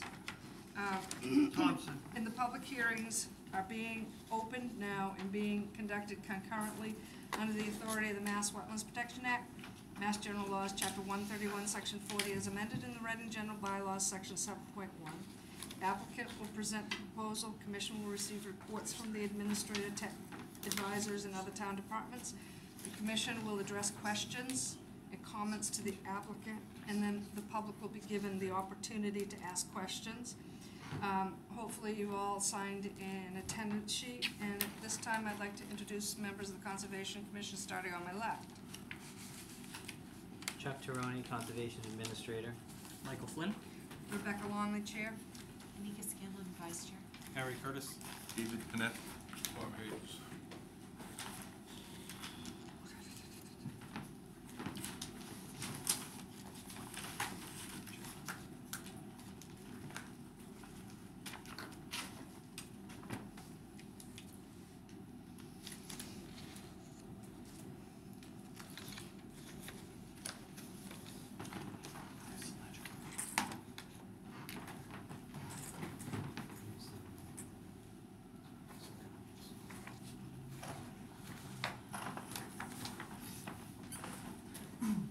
Are these different from, Yeah, they were just modified within these two days. So these are replacements of what we have? Yeah. For the record, I'm Tom Hughes with Hughes Environmental Consulting. Um, The Thompsons couldn't make it tonight, they had pre-scheduled um, travel plans and they just could not change those. Um, I do have Sudi Fay from fifty-six Gray Coach and Jan and Art Triglione from sixty-two Gray Coach on here. Um, What you're receiving is, is really an update of the plans um, based on information gained and, and observations made during the site visit. Um, The additions are really just more clarifying the details that were not overly well presented in my first plan, um, admittedly. So the, um, what we've done is, my first plan graphically just represented trees that were being planted that complied with the uh, tree policy and size. And then all of my other plantings were on the plan in narrative form. What I've done is I've actually taken circles on the plan that are colored in represent trees that meet the tree policy size. Evergreen, five to six foot minimum, and uh, deciduous, two and a half inch minimum. Um. Tom, sorry, to- Yeah. could we, uh, just start from the beginning to, Yeah, okay. no, I just wanted to, I was just trying to give you an idea of what, what I did to update the plan. But, um, so, to start from the beginning, this photo probably gives you a good idea of, this is three carriage. And, um, basically, there was a tree company in the neighborhood that was doing some cutting across the street, down the road a little bit, and I guess the rumors started going around that it was okay to cut trees and, you know, nobody checked with the town and these guys all, you know, used the same tree company who door to door and cut trees. So that work was, um, you know, right along the wet edge and in the buffer zone. So this, I apologize on this set of photos, but this is fifty-six, my ink was kind of going when this one was. Um, but here's the area at fifty-six. And, uh, we have some, like, this is a historic photo that shows what it was like beforehand. Uh, this gentleman is now, I believe, in college. Is that, Yes. so, it's a while ago, but it was the only picture we could find of that area. Um, So we took some historic photos, you know, whatever we could find, and tried to piece together based on discussions also with the applicants on how many trees were cut. And this is sixty-two, and again, the ink cartridge was giving me trouble, but, so sixty-two down this end, same thing. Um, So, there's a lot of disturbance associated with tree removal. There were, um, best as I was able to ascertain, six mature trees removed here on this property, nine mature trees, and eight mature trees. On sixty-two, the stumps are still there, and the surveyor picked them up. Um, on the others, we did it based on folks' recollection, the fact that they actually had to pay somebody to take down trees, so they had to count. Um, and then the locations are sort of best recollection, and those are shown on this plan in, uh, red X's. And, um, the only red X that shows where a stump doesn't show is there was a mulch bed in between fifty-six and sixty-two. And there was a tree that was taken out there, so I added an X there, even though the stump is no longer in that spot. Um, stumps have been ground out on these two properties, they still remain on this property. So, um, what we've done is come up with a replanting plan that meets the sizing of the tree policy based on the counts I was able to get. And along with the trees that meet the tree policy size, we're also planting some New England wetland plant shrubs and saplings. So for each of the larger trees we're planting, we're also planting at least one sapling of the same species at a smaller size. The idea is to give some variety of growth sizes and to give something that is ready to kind of follow behind these bigger trees. Um, and I think eventually, within four or five years, the little saplings we plant will probably catch up and possibly even surpass the bigger ones, just because the smaller roots will take better. Um, So, on three, we're proposing three red maple and three river birch in the mature plants.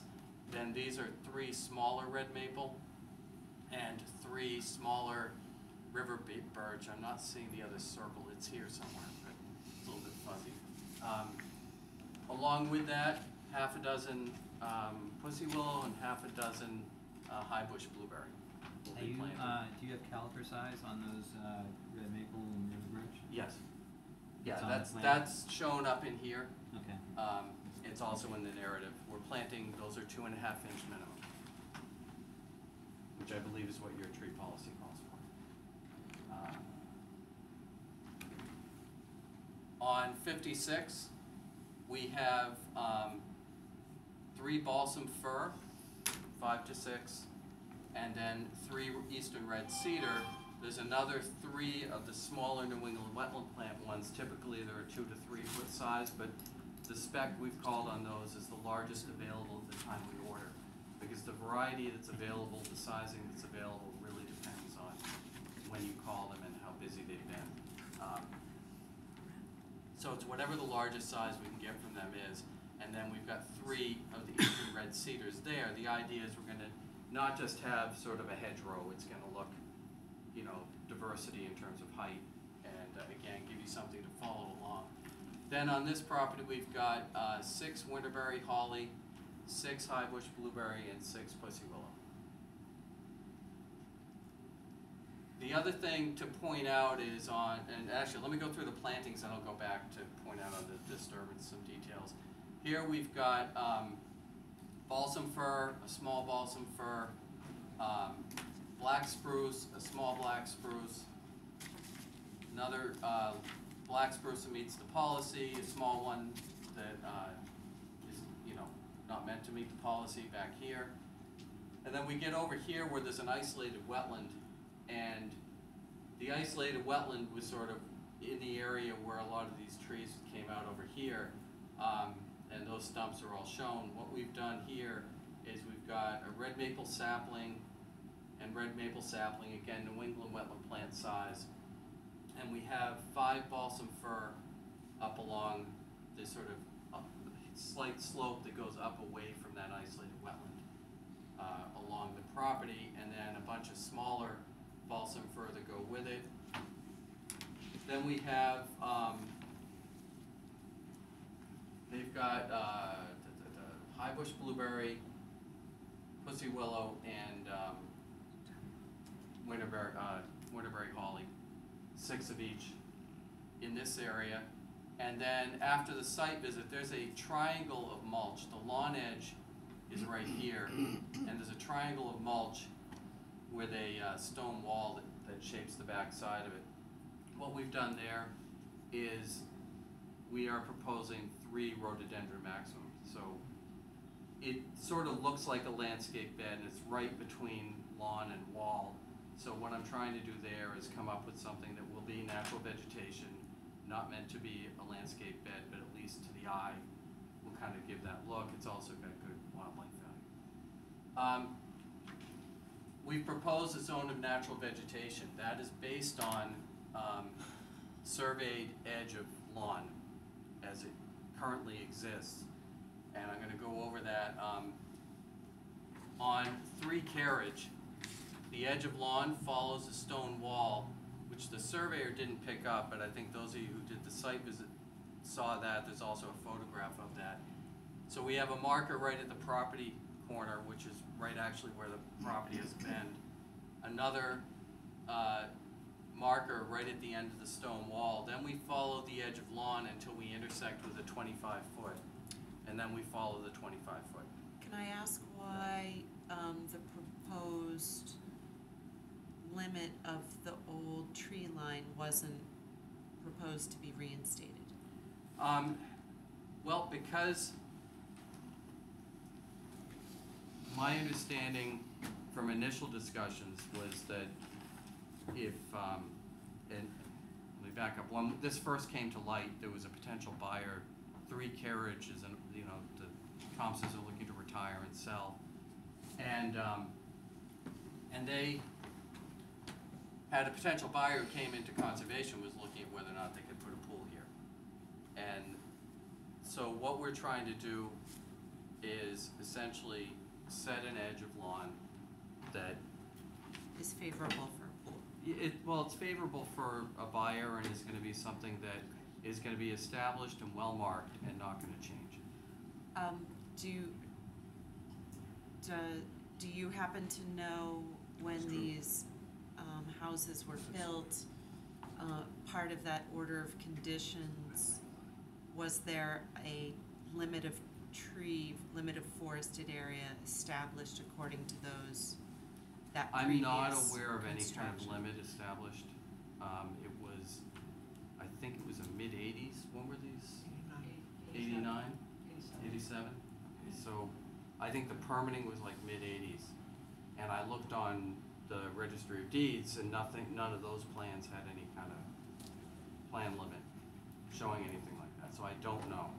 Um, What I, what I was trying to do is essentially deal with the existing conditions as I see them now. Follow the lawn, and then when the lawn me- meets twenty-five, then we would just follow the twenty-five with well-established markers.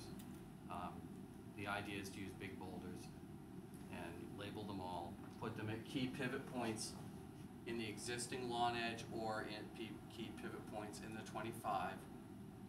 And everything within that marker area from here on just is going to be densely planted with natives, with shrubs and um, native trees and invasives controlled.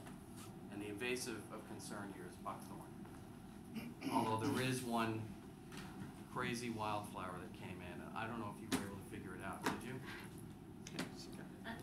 What was it? Cause I spent the better part of the day. Sweet scented Indian plantain. Really? Yeah, and uh, I thought it was a green flower at first, so I was looking at Peterson's, and th- but if you look at this, the Indian plantain, it, it looks like that, but the description says, oh, they're from Connecticut South. But the thing of it is, when this was published, Right, things you have know, definitely come Things have definitely moved, and when I squished some of the thing, it did smell kind of sweet. I was careful not to do that because it is close enough looking to a number of different species that are extremely toxic to the skin. Jeez. So, Oops. which I I'm found out as I started, okay. I got it down to about twenty-five species and I think that was in the list, but When, when you go on, you know, Wikipedia and you take a look at it, it's like, oh, it- and it, the thing of it is, it's the leaf. Now, this leaf, they don't show the sweet scented, but they show Right. just the leaf. And it's even more ornate, but when you look on Wikipedia, you could see the ornateness of those leaves. It had the form of a ragwort without the leaf, and then it had the leaf of a Right. thistle without, you know, it, Yeah. anyhow, it was, I've, I've never really seen it Right.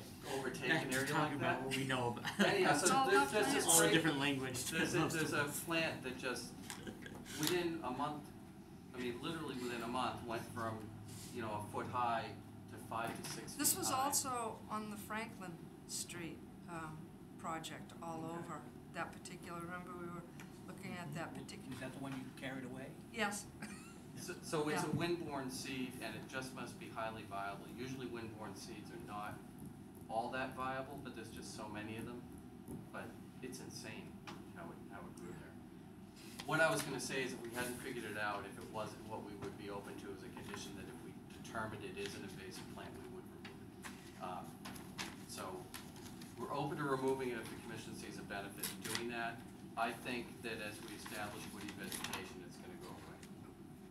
We had a site visit, and we'd been to a site visit previously. Um, Can you also describe uh, what's there now? I mean, they, they took the, the stumps and they ground them up, and you are going to remove that layer of. Right, right, so, so when they did this work, so within the area, the sort of limit of work, which is that edge of lawn out, um, and it kind of varies where it, where it ends in this direction. They ground up the stumps and just sprayed the wood chips everywhere. So part of what I added to the plan is a note that, um, wood chips are to be removed, any wood chips that are thick enough that they're blocking growth, which is essentially one inch or thicker wood chips.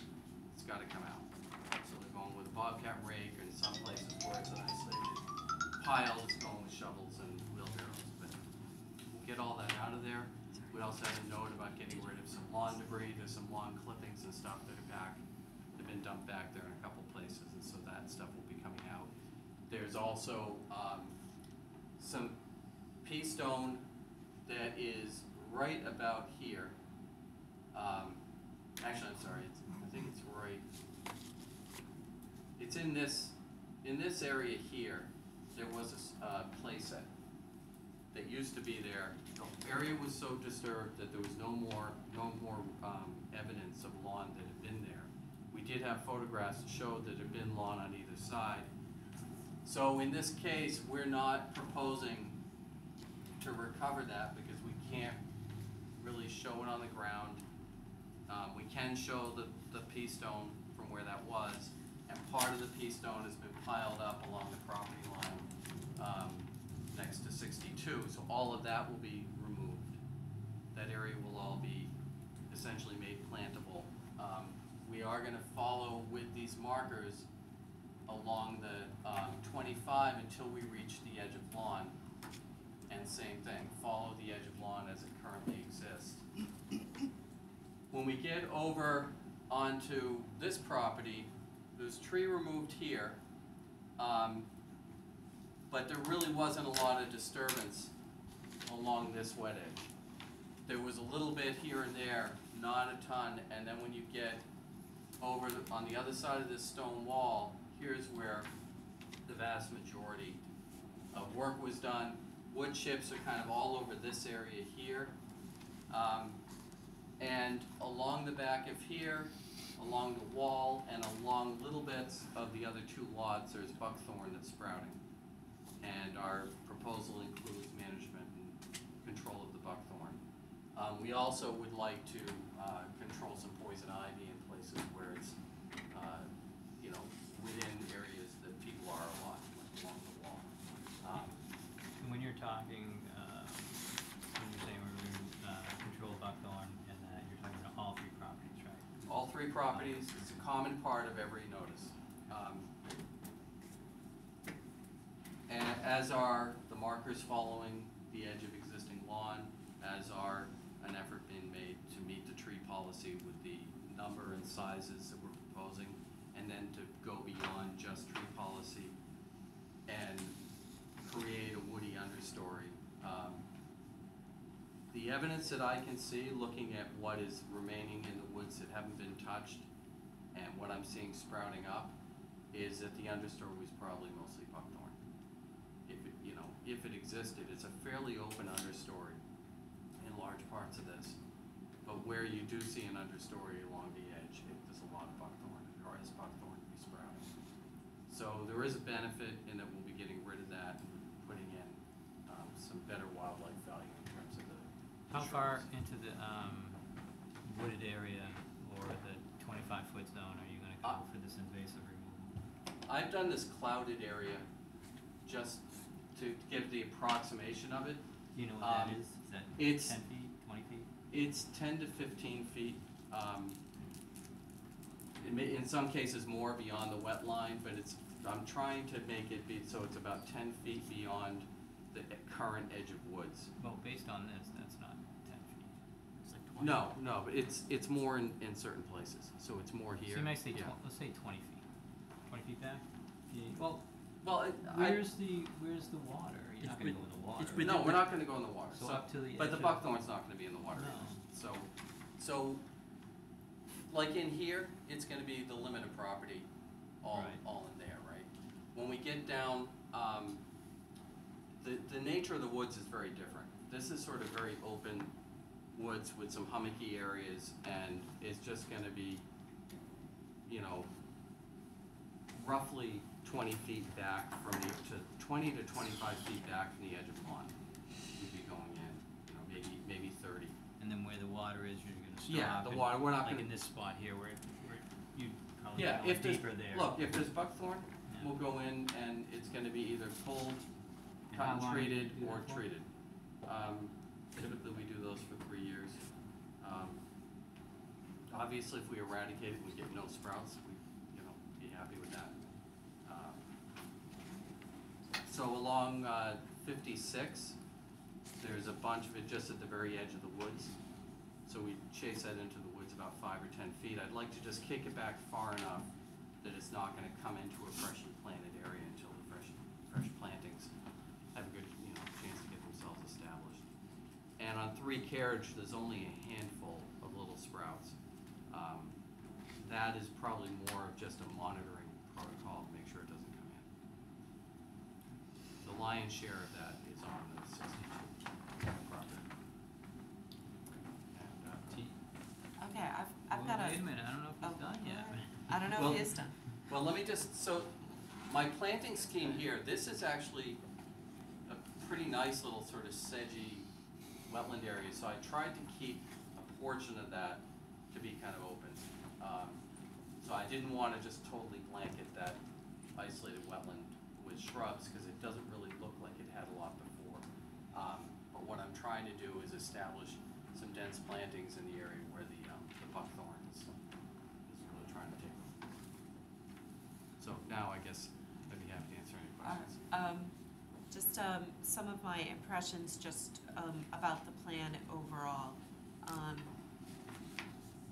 I would, you know, since this was a, um, taking of vegetated area, established, you know, good established tree canopy area next to wetlands, part of that buffer.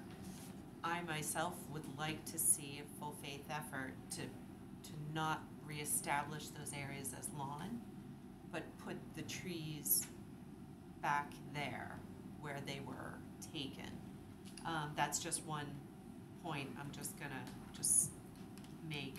Um, on lot, um, the lot for number sixty-two, Yeah, I'm a little, c- um, confused about how many trees were taken because, um, there's one near between, that's, there's one near wetland flag A sixteen in the back. Okay, that doesn't seem to, I'm sorry, yeah, and actually, this is, this looks like an errant, this looks like an errant X, by the way. Well, that's the thing, I'm, I'm kind of like Yeah, trying no, to I, find out. I, the way I did that is I, I made an X, so I had to do this in Adobe, so I made an X Right, and I made a bunch of gotcha, copies. gotcha. And I didn't realize, that just landed there and I Well, didn't move it, should so- that be on the twenty-eight inch stump?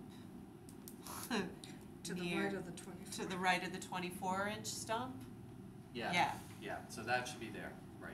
so I'm So not sure if One, two, it's three, four, five, six, eight or ten seven, eight, or oh, eleven. nine. I've got nine, um, wait, one, Two, three, six, four, seven, eight. five, six, seven, eight, nine, ten. I've you got, have ten? I've got I've ten. got ten. Alright, Ten so, includes the mulch bed. so we will, we will add two more. Oh, eleven plus the twelve inch stump in the Does- isolated. Tom, plat. do, Yeah. um, did you, uh, calculate for you, we added that, uh, corner on this lot where you're putting in, Oh, yeah. did you add that in, is that, Tho- Those are is that three. additional? right. um, These, these are rhododendrons, I mean, the, the sizing on those can be done to meet the, the shrub policy, the Yeah. shrub sizing, if that's acceptable to the commission. Um, Well, it's, that's just have to meet this policy. yeah, that's fine. and, right, and we can, you know, we can change a couple of the smaller ones up. I miscounted, and, uh, I only I came know. with those X's, so I was counting the stumps. There's a lot going on on these plans and, Right. yeah. Um, another thing I was just going to ask is, can you just take the text of the replanting? The Yeah. blue text? Yeah, on this lot, That's, that's, uh, Right here? that's on this lot, on all those three lots, and just put them on a separate piece of paper so I Sure. can read them. Yeah, Cause I'm trying to read through the black lines and. right, right, I'll, I'm just having a little trouble. yeah, Actually, I'm, I'm happy about the key this time. yeah, It's no, a I little had bit that I'm, in. I'm happy about the key Right. too. Um, one thing, I, couple things, um, when we were out there, Dave noticed that there were a lot of honeybees on the, uh, s- sweet scented Mhm. Indian plantain. Yeah. And Anika had suggested a wetland conservation mix from New England plants, but we had discussed because of, you know, promoting pollinators, that it would be a, a wildflower Right. mix. Sure. And that's in my notes. Yes, So I saw So that. any areas that are disturbed, either presently or after removing the mulch, any disturbed soils that are in our mitigation area would be seeded with a, uh New England showy wildflower mix. The first year it tends it to be a lot of black-eyed Susan. The second year it'll come in with some, some different stuff. I do expect long-term, like if you go in there in ten years, there won't be a lot of wildflowers around because I expect this to go back to a wooded area. But in the meantime, I mean, there were honeybees trying to get nectar out of these, um, Thanks. Yeah. things, Yeah. and there was no flower left. So, The other thing that you brought up when we were on the site visit on Tuesday is that you wanted to give your landscaper leeway on how to plant or Right. position the different plants. But now we have this. Is it, it's still going to be kind of a fluid It's- thing? yeah, uh, this is- Based on his, I just want this is to give you an members to idea, know that. this is, this is the planting concept. What I expect is somebody thinking on their feet. There's a couple places where you have buried boulders. I don't want them chipping away a boulder just because I put a red nickel where the boulder is, right? And the idea is, as they're planting, if native vegetation has come in, then we wanna kind of adjust around that. We don't wanna destroy something that's coming in nicely now, just for the purpose of the, putting in a planting plan. So, the way that, that I envision this working, and I've met with the landscaper for these two lots, and I expect to be meeting with the landscaper for this lot, is I'm gonna be meeting with them, um, before the work is done, establishing the erosion control line in a place that makes sense based on the edge of disturbance that's going to occur on each individual lot, and it's not, so, it's not an easy straight line to draw for you here. So I may even, like, for example, on this lot, it's gonna kinda run it along that edge of existing veg, and then there's gonna be places where we're digging these bigger ones, where I'm just gonna put like little half moon stuff while they dig the hole, and maybe a root in for a bobcat, because those things are big enough, you can need a machine probably to, to put them in. And then, so it's gonna be something, and then once the plants are in, and things have stabilized, we're gonna readjust the erosion control to follow that edge of lawn before the lawn is actually established. How much more disturbance are you gonna do out there? I mean, you talked about Minimal. erosion control. Minimal. Do you even need that? You know, I, I think I mean, you just plant it. Yeah, no, I, I think these, your, your tree policy trees are big enough they have to be handled with, with equipment. So we're gonna be driving equipment in and out. And I think that it's a matter of, of talking to the landscaper about how you're gonna get in there, looking at that route and making a judgment call at the time as to whether or not we need to put So something in. what's it gonna look like when the mulch is removed in certain areas? Well, that's the thing, so, so it, this is meant to be as much as the planting, I expect to be thinking on your feet thing, I expect the erosion control to be the same thing. You know, as we remove that, I don't really know what it's gonna look like, cause I haven't seen it without the mulch. And I'm not looking for them to get every little bit of wood chip out, just to the point where it's not blocking growth. How is the landscaper gonna know where to plant on each one? I assume three and, uh, fifty-six are the same landscaper? Same landscaper, and, um, So and you just put up flags and say, hey, this is, this is where it's going? First, yeah, first thing we're gonna do is we're going to have, um, I'll get this plan in whatever form it's approved to the surveyor. Have him put this into CAD so he can go out and stake each one of those points. And that'll give us something as a reference point to then eyeball where the stuff is going.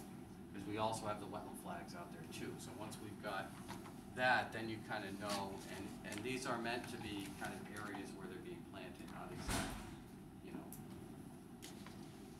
So how, uh, what I'm trying to ask involvement in this, because I know if you're gonna be there, you're gonna get pretty much what we ask for. I expect to, and, and, I mean, my understanding for my clients is that I'm gonna be involved with coordinating with the landscaper, um, as much as I'm needed. And I met with the landscaper for, uh, for three and, and fifty-six, and the guy has a good head on his shoulders, and I don't feel like I need to do a lot of handholding, it'll be a matter of meeting with him up front, him having my cell number, and me just being able to come out if there's any questions, and, you know, and I, I understand that 62's landscapers, you know, same way, so if I've got somebody working with me like that, it makes it really easy, I mean, So we don't wanna extend the line forward and you don't wanna plant them in an area too wet, so they really need to be right in there. Right. He's got experience, or she has experience, I get that, but bringing it forward, we where's that limit of work? The other thing I wanted to talk about is, um, all those granite bounds, they're not even on the twenty-five foot line, I think we can reduce those a lot, I mean, I don't, I I'm, don't I'm know. fine with it. I tried to do pivot points. So, so the lawn kind of does this, right? And then it does that, it does this, then it has a little bit of a bow here. So I tried not to like capture every little bow, so it would go like that. But there are, there are these turn points. Yeah, so I, I was Um, thinking, um, I'm gonna write on your screen here. Yeah. So we usually do, you know, the property lines, so those are Yeah, gonna stay. fine. Then like here, This one here. there, Maybe at this corner. You know, I can- or maybe I don't know, the something wall, like that. the wall and the wall or something. Okay. This one here, something in the center here. I don't know, Let me take, maybe this let me one take here a to get picture rid of this. that one.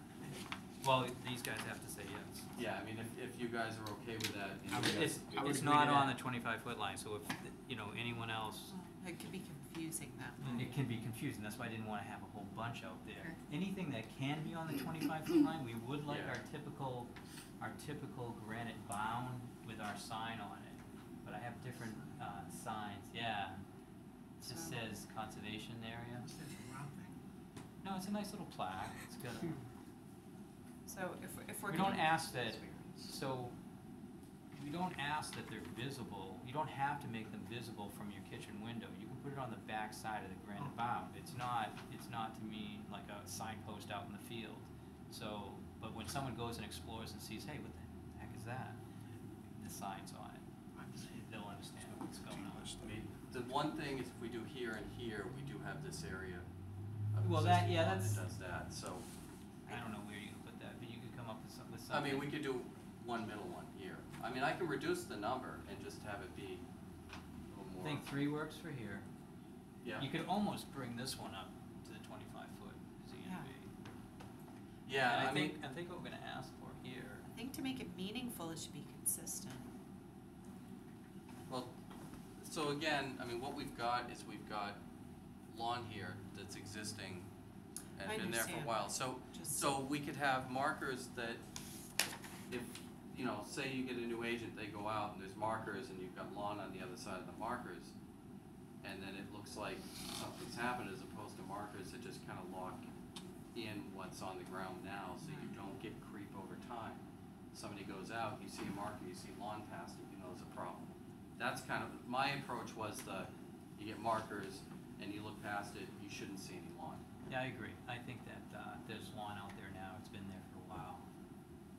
So, so Whoever's the living thing there is, now is not gonna try to extend so the it. thing is, if I do twenty-five, if I- if I go here for these guys, You get lawn on It's the gonna Then- start, it's gonna start looking like things have been extended, or Right. we're just- if somebody goes out there, they're not gonna know if somebody has started to Right. extend it or where it's been extended. and Well, then they'll what check happens? that one, and so they'll then think what all the happens- rest are at the twenty-five foot line. Yeah. Yeah, and then what happens if then, you I'm- know, I'm- you get a little lawn here and you don't know? So I, I'm my fine. preference, and I've been somebody who's staffed conservation commissions, would be that where the marker is, on the other side, should be wild and crazy natives. And, you know, on this side should be whatever landscape lawn, garden bed, you know, that doesn't do any harm, that people wanna have that's legal, so. So that, Put- You put that on the twenty-five foot marker and that piece of lawn could get bigger and bigger and bigger, and it would be like, Chuck, is there any opposition to actually putting it on the twenty-five foot line, like it, is it three ten South Street?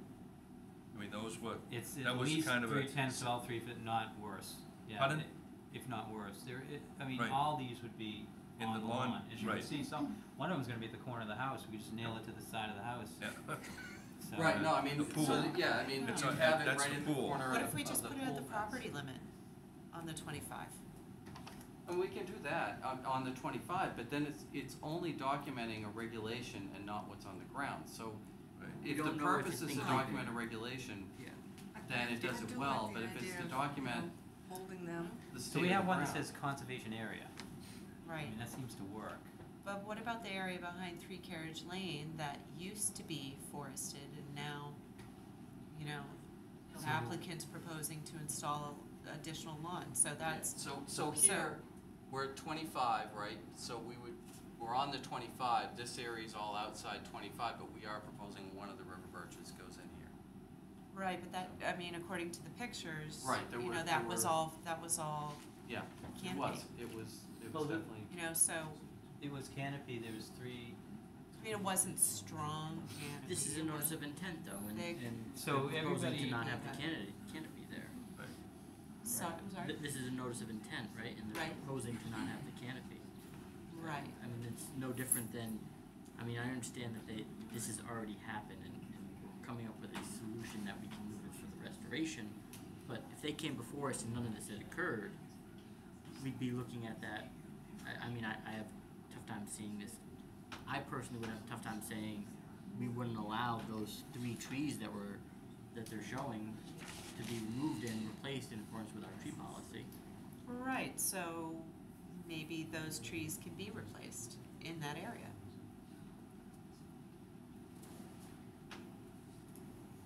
So my approach was, was just that, to apply for something that would be permittable and to try to propose mitigation like I would. If I were to come in here and they hadn't cut anything, you know, what would I be proposing here to, to make this area lawn? Is I be, be proposing to strengthen this area by invasive control, enhanced habitat value through shrubs and, uh, and tree plantings. And so we're doing the tree policy and then we're adding these New England wetland plan size restoration things to try to beef that up.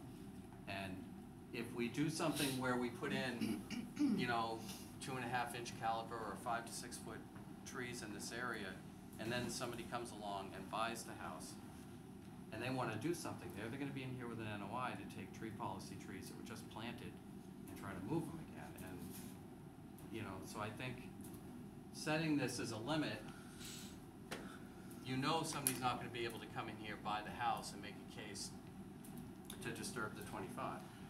Look, I'm not here to Yeah. work for the new homeowner. No, but, I'm no, here- no, but I I'm I here to try understand to- that. It- I'm here to try to keep the habitat as protected as possible, so I, I that's understand the that. hat I'm wearing.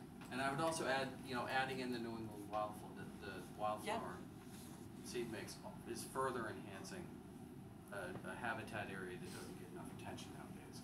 And, um, That's also, I mean, the habitat's really behind that.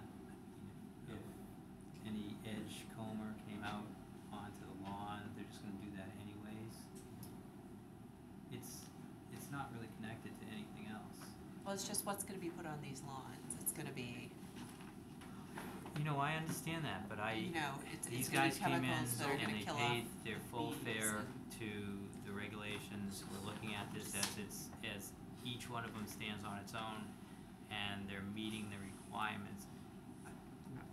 I, I didn't know what, um, was gonna go there either, and I was, I was a little bit surprised.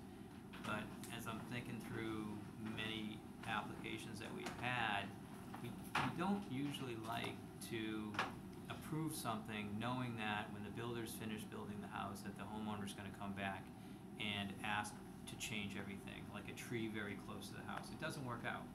It, it, it should have been thought of in the first place, and I think that, I'm not telling you to not make this wildlife habitat, I'm just saying, just think about that, you know, an area, there's not much lawn there, a family moves in, it's gonna be, it's gonna be hard to throw the ball around or something like that. Um, and you might think about what's, what's the best use, is it to turn that into, back into forested area, and it might be trampled, or it might be removed without us even knowing about it, or create something that can be established and maintained, uh, in perpetuity, or close to it. the, the other thing I would point to is look at what was there. I mean, it really, see Chuck's head's Um, It's the right here. Yeah, no, it- it's, it's on your photo thing. So, yeah, there were mature trees there, but it's not like, and it, wa- and it was wooded in a sense, but it's sort of a landscape wooded as opposed to, you know, a full-on woods, and, and we're gonna take that, and yeah, we're pushing it back towards the wetland, but we're really enhancing its, its value, I think, overall in the process.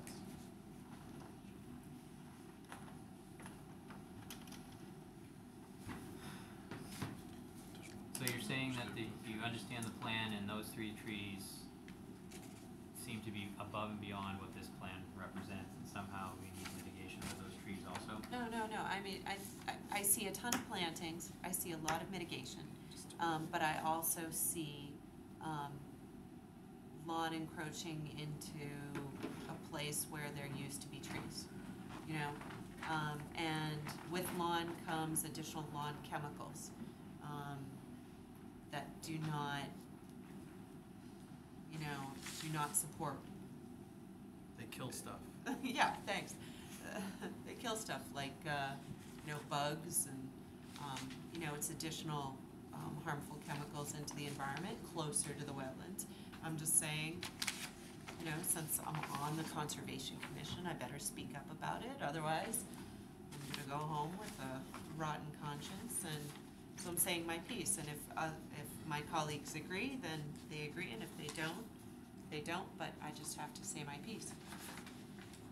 I, think I would just point out that the regulations deal with that whole issue through establishing a twenty-five foot number as a most cases number on a, on a ZNV.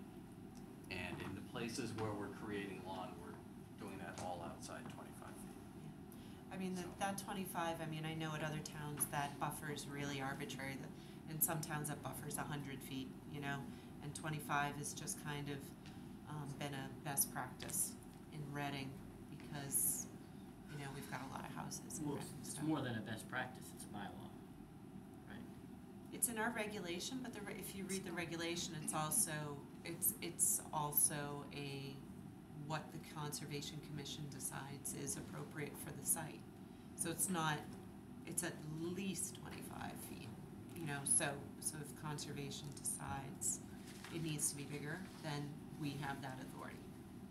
Yeah, So, Now, can I ask you that, uh, near the northwest corner of the pool for, uh, number sixty-two, is that Is that another Adobe orphan, the square, the red Yeah, square? yeah, that must be.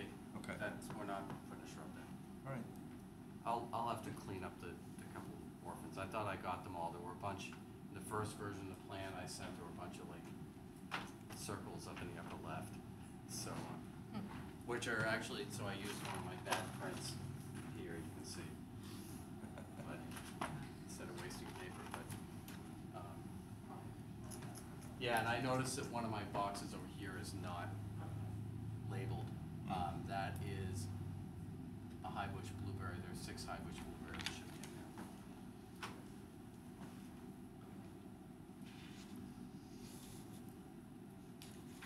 Funny, that actually is on mine. It's labeled on this one. Oh, look at that. Chuck, do I- you, do you think that there are records for this subdivision in the files? Should be if it's the Yeah. mid-eighties. Um, Is that something I can come in tomorrow and look up and see what it says for, for like an agreed, when this, this, for agreed tree line, if that's even mentioned, Um, I mean, I don't mind coming in tomorrow during office hours and doing that legwork, I- cause I'm sure, I don't think you have that information here. I think I do. I think, um, I just don't know how fast I can find it.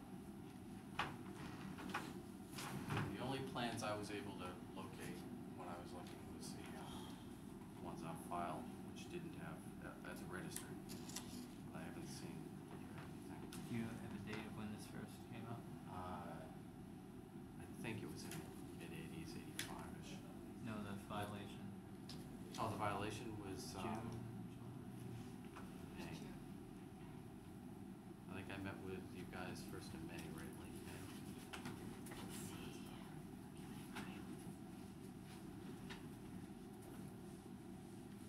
Late May, early June.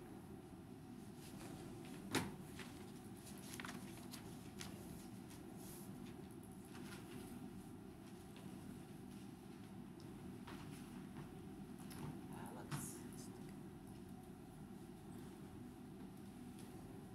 Right? that looks like a Yeah, so it's subdivision. carriage.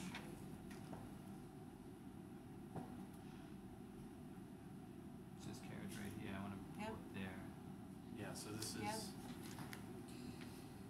So can you zoom in on so that? that's gray coach, so this is That's three carriage. three fifty-six and then sixty-two would be down there. Put those in that. Alright.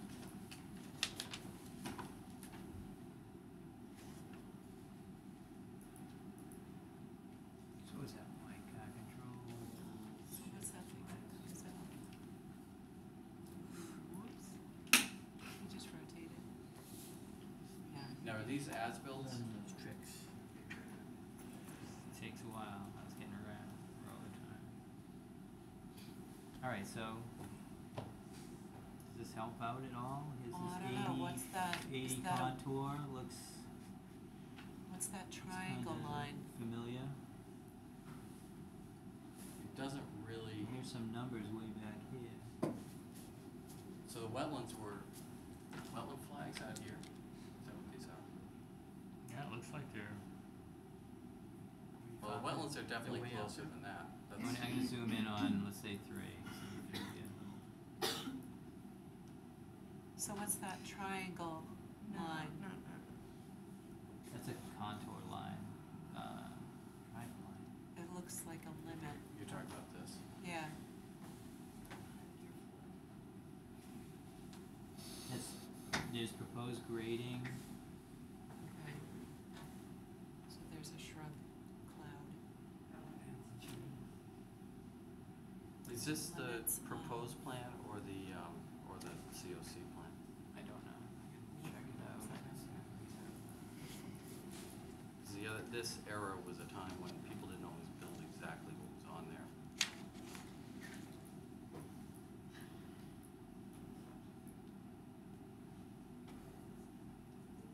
Definitive Definitive plan. So it's definitive, States. it's the plan, Definitive plan. so.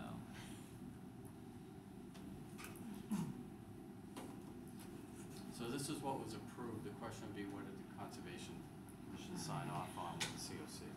Right. And I'm not sure this is. There's a whole lot on it. Well, look at that, floodplain, The bordering vegetated wetland line is right there. that's the floodplain elevation line, that dark eighty contour. Hundred year flood, That's, no, that's the, well, it uh, looks like it's written right here, yeah, that's the, uh, It's floodplain district boundaries. dash double dot line. you know, in this area. I think, That's the flood, yeah, I don't limit, think that's the limit 80 meter of contour. one hundred year flood, right in the middle. yeah, Right. See the eighty contour chart? I think that's just the dark. just a ten foot interval. The, the dark lines, I think are just the, uh, the gradient lines, uh, ten foot interval lines, right? They should have been final grade, right? No, cause it's It off would have the been site. subdivision, these would have been subdivision proposed grades. But The ones that are kind of grayer, not the darker ones, the ones that are in the. Okay. wetlands. Okay. I don't think this is getting us anywhere. No, it's, but it's saving you a trip to town hall tomorrow, right? Yeah, thanks, Chuck. You're welcome. No, it's also more helpful to all see it together instead of going away and waiting for another meeting to kind of hear what Right. people think. Um, You know, my, I just go back to, you know, what I'm seeing on the ground is stuff that's, that was not put there yesterday, so it's kind of like, you know, I don't see anything on that other plan that is slab established to ZNV or anything. So, you know, the benefits of what we propose is we, we create an improvement in overall habitat and buffer zone. We do mark out, either as proposed or how you, however you guys want it, we mark out a ZNV. The way I've got it is the easiest to enforce. Because you know, once you show up, something's happening past that marker. I mean, maybe if you wanna do one at twenty-five with one badge on the property lines, and then do the markers I've proposed along the edge of lawn with a different badge. But it just seems like having it along the edge of lawn where it ends up is the most common sense way to do it, and the way that translates to the next agent, the next agent, the next agent, the next commission, the next commission, et cetera. Um, And plus, having, you know, a rock or a post in the middle of a lawn area is just not safe if somebody's got kids or whatever. Yeah, we saw that on South Street. Yeah, I That think, wasn't um, great. I, I think it's, Yeah, we've been, we often put the, um, granite bounds in when we're doing an addition or a house. This is, this is strictly, uh, vegetation plan. Um, and, and I think three carriage, I mean, I, I'm just, I'm, I'm gonna ask another question to you, and then it just is, so I think what I'm seeing is that you think that you still haven't replaced habitat value because you're losing, um, that area of, uh, natural forest. Yeah, and looking back at that subdivision, um, the wetlands were way off. You know, that, I mean, the wetlands are what, that, that, Yeah, keep, keep in mind when that Bottommost. was done. Um, I'm not so sure about those. so, That's, so, I mean, but, So- but when you see the vegetated Right. area behind lot three there, that Yeah. little cloud line type, y- you know, we're, that's basically what he's proposing at this point. I mean, so I look at when this was done, right? You have to remember, I lived through that. There were two Army Corps manuals. Wrote one, they changed it, they wrote another. This was delineated in the middle I'm sure, in the middle of the whole toss-up over what are we using for a protocol to delineate. Um, It wasn't the three parameter approach. You know, it was, I think at the time, didn't Reading have a forty percent vegetation on the, I mean, it was, it was a weird time. Wetland lines were really subjective and floodplains have changed.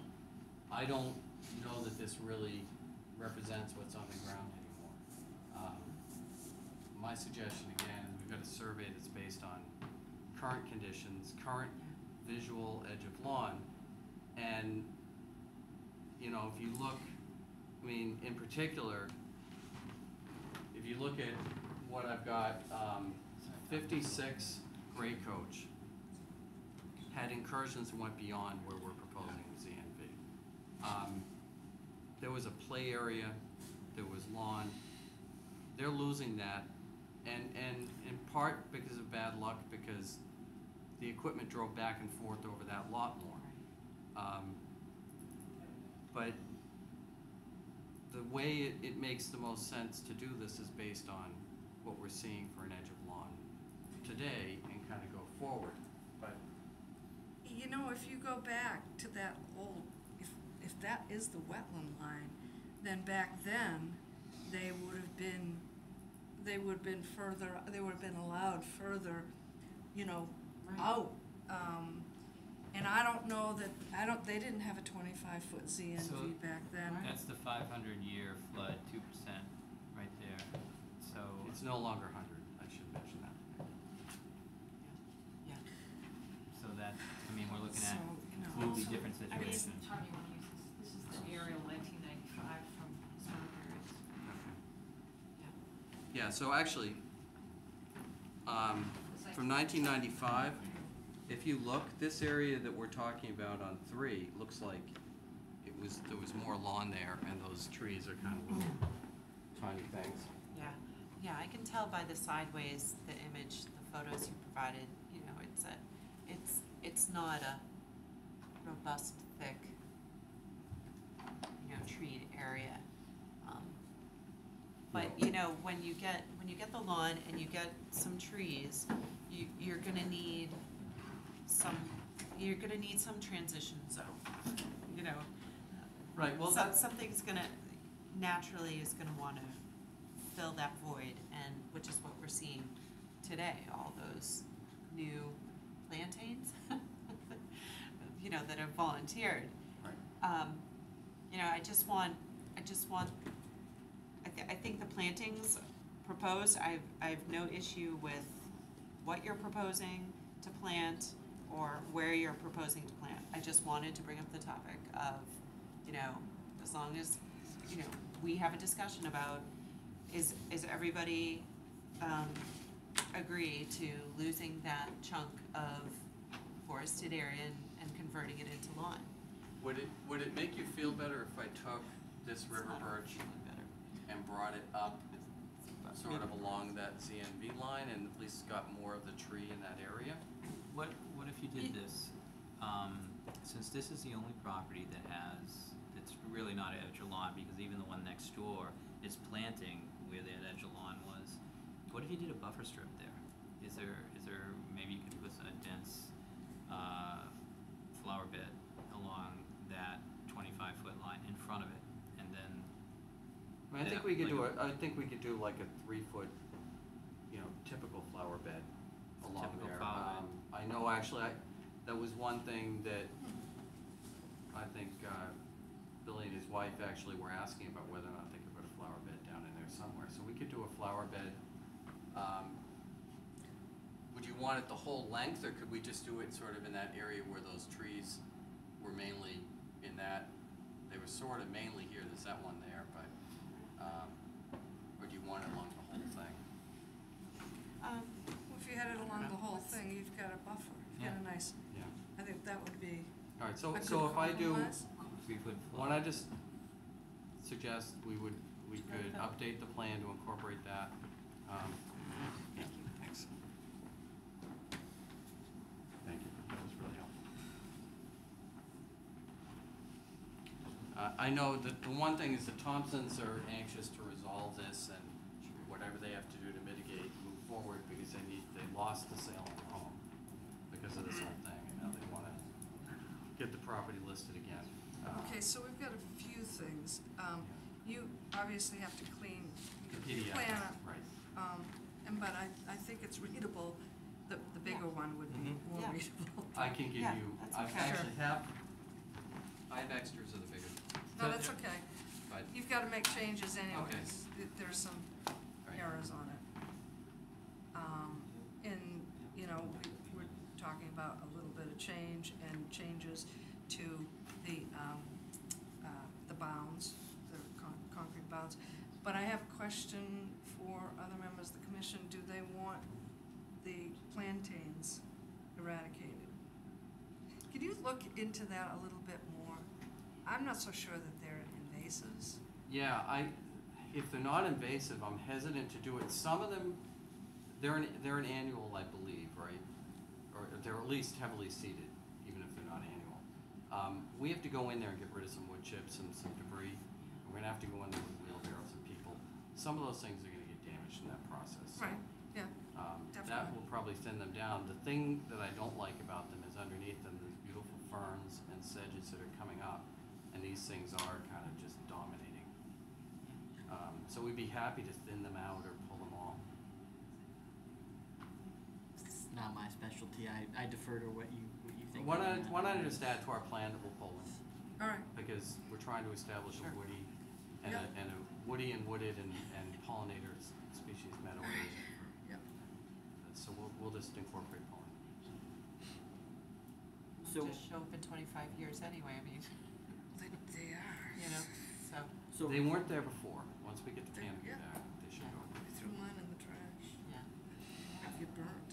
I think it's it's great and it, it's basically the same plan for all the for all the properties. But just so we have a, a clear, concise, based on each property, can we just say, okay, this is the comment we have on sixty-two. If there's any changes, here's the what we have on fifty-six. 'Cause I think I feel like my interpretation, most of what we've talked about is changes to three. Three, carriage lane three, yep. Um, Um, I don't have any comments, so- I personally don't have any comments on- on the other two. You did ask, we did ask you to put something into that little, um, bed, that triangular bed, which you did, you put rhododendron. Yeah.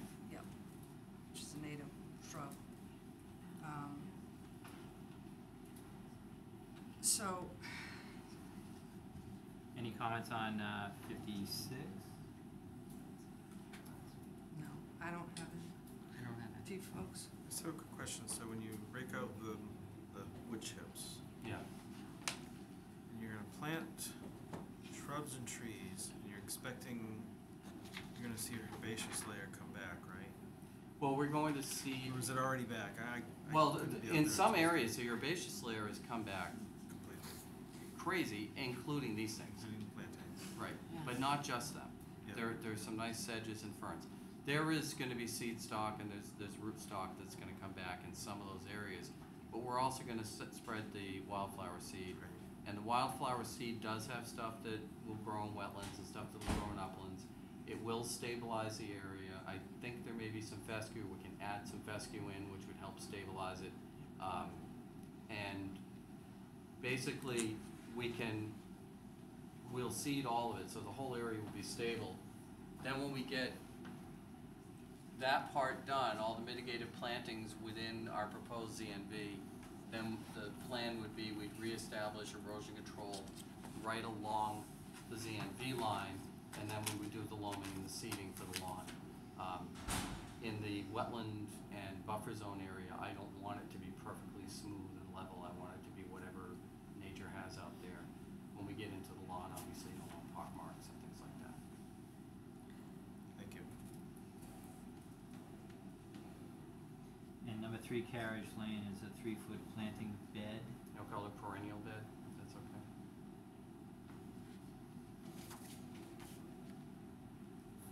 Um, and we'll see that on the plan. And we've changed around the granite bounds. And you have that concept that we Um, I have the before. idea, I'm gonna, I'm, I may, I don't wanna leave out that corner, so I'm still gonna keep that corner in, but I'll just reduce the number. We're still keeping it at the edge of, Yeah, the idea is I want it to be the edge of lawn, no, I, I um, would, so I, so the thing I wanna do is I wanna make sure where they're placed is in a way so that when you look from one bound to the other, there's not a significant amount of lawn that goes over it, and I can, you know, if it's only a few inches, that can revert back. So, So, we're not closing, correct? Because we're gonna wait for a plan, another No. plan? Well, we, can we? do you have order conditions prepared? No. I don't have because an order of conditions prepared, um, for any of these. I don't think we wanna close, our next meeting is not for twenty-one days Right. anyways. I could, uh, I mean, it, it, there doesn't seem to be major changes, right? Right, I So think could- you can prepare it for the next meeting. are there any comments from the com- community? Okay. One, one other question I would ask is, um, if we're gonna be three weeks out for a decision, once we get a plan in that's acceptable, would you guys be okay with any of the like wood chip removal being done under the guise of the enforcement order? Just to get things ready to go with plantings, cause I'd like to get the plantings going in Do, September. do we have an enforcement order? Or, I don't- I or don't was there an enforcement letter, or was it, did we just come in? I think. I think we just had instruct, Okay, well then, that- then we'll just leave it, and if we have an So- order ready to go. Is there, question? Is there any harm in if some of this work needs to get started or just, you know, nudge down the road a little bit? And cause the order, portion of the order that's not problematic, is that a, I think consistent with most, most ways we perform our order of conditions, I would prefer that everything's in place before it starts. Um, We do have no comments from DEP on all three. I don't know, Chuck, what are, what are you comfortable with? I mean, you're, you're the one I think two people can wait, and one guy needs to sell his house. So, um, I, I, I don't know, I think if Tom's involved, I mean, I'm not saying, oh man, Tom's a great, you know, he does everything, we never have any problems with him. I'm just saying, if we have somebody with some expertise there and he understands the concept, which I think he got tonight, you, you, you could say, move ahead, number three, it seems like that's the most critical one. Um, get them moving forward. But if you're gonna bring It's, really machine pretty to, simple, it's two things. you're gonna bring in a machine to rake out the, the, um, Chips. the chips, it doesn't make sense to bring it in just for three and then bring it back for the Well, other two. That's the three, decision they three wanna and make. yeah, fifty-six that's are, up are, to the app, each applicant Yeah. has a separate, Right. Yeah. the chips are only in the far right block, right? three, three and Three and fifty-six has the, both have the, a connected disturbed Right. area. So it would make sense to do those two together to get the chips out. Um, sixty-two is a different access way. right, That's Um, right, that's. Different right. landscaper. The New England wetland plant plantings, I'd like to have ordered all together because, you know, Mhm. otherwise you pay three hundred for shipping on each Right. order. Um, but all the, but the bigger plants are all coming from local nurseries, they're not coming from wetland plants. So what I'd like to do is, is at least prep it for planting. Um, maybe email Chuck, say, here's what we'd like to do, and if Chuck is comfortable with it, and I will, I will be present with the contractor to make sure that erosion controls are in place and proper means Are of. you comfortable with No, this? Uh, well, I'm certainly comfortable as a conservation agent with that, but I, I think if I was selling my house, I don't care what's going on in the woods, I need my lawn in place, and I, and, and that's really what we're talking about here, if we're gonna give number three a break, that lawn is the only thing that matters. Yeah, we've gotta get the big plants in before we establish lawn, cause we gotta drive through it with bobcats with bigger plants. So, you can't go through, well, you can't go through the next house, that's why I said just Well, I deal with suppose three. we, I suppose we could if, if, I'm tired of people running through my yard. They, that, my yard, my yard looks like a war zone. Alright, well then So- that's, that's that. yeah, um, Sorry. Well, then a little more won't hurt. No. Okay, no, so if we could do fifty-six and three, at least the prep together and get the, the big plantings in that are going, um, outside of the new lawn area. But, Okay, why don't we just, if we have an order ready at the next meeting, Yeah. and, and then maybe let us start at risk after the order's issued. We were only, we were only offering grass, as they do in most cities today. But, um, without that, we can't go further. So can we make a motion to close tonight? No, No, Well, you know, you could, but it, it's, it doesn't really matter. See, the, the twenty-one day, um, thing is gonna hurt us there. If we don't close, twenty-one days is on the thirteenth. I would, we would need to have the order and, um, either have it postmarked or hand delivered to the applicant. I'm So- the applicant will be so- here. so do I hear a motion to continue? I make a motion to continue Three Carriage Lane. I'll do, I'll, let's do them separately. Yes, uh, do I hear a second? Second. All those in favor? I Do I hear a motion? Make a motion to continue sixty-two Gray Coach Lane. Second. All those in favor? And I make a motion to continue fifty-six Gray Coach Lane. Second. All those in favor? Thank you very much. All right.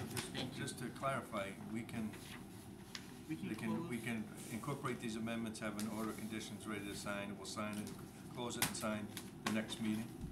Well, I don't know if you'll close in time, but I'll have it ready. I Okay. mean, that, the all other right. part. It We'll, be- re- it will we'll be have the prepared. opportunity to Opportunity to review. review. Okay. Prepared to, and so that we have the opportunity to close and approve. All right, I'll send you something tomorrow. Yeah. I've got a motion. Thank you.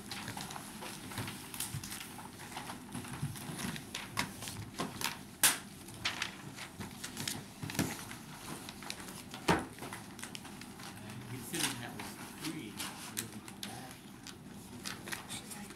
Okay, we have, have an amended notice, uh, order of conditions. Fourteen Strawberry Hill Lane, map seven, lot one ninety-three, Moynihan. And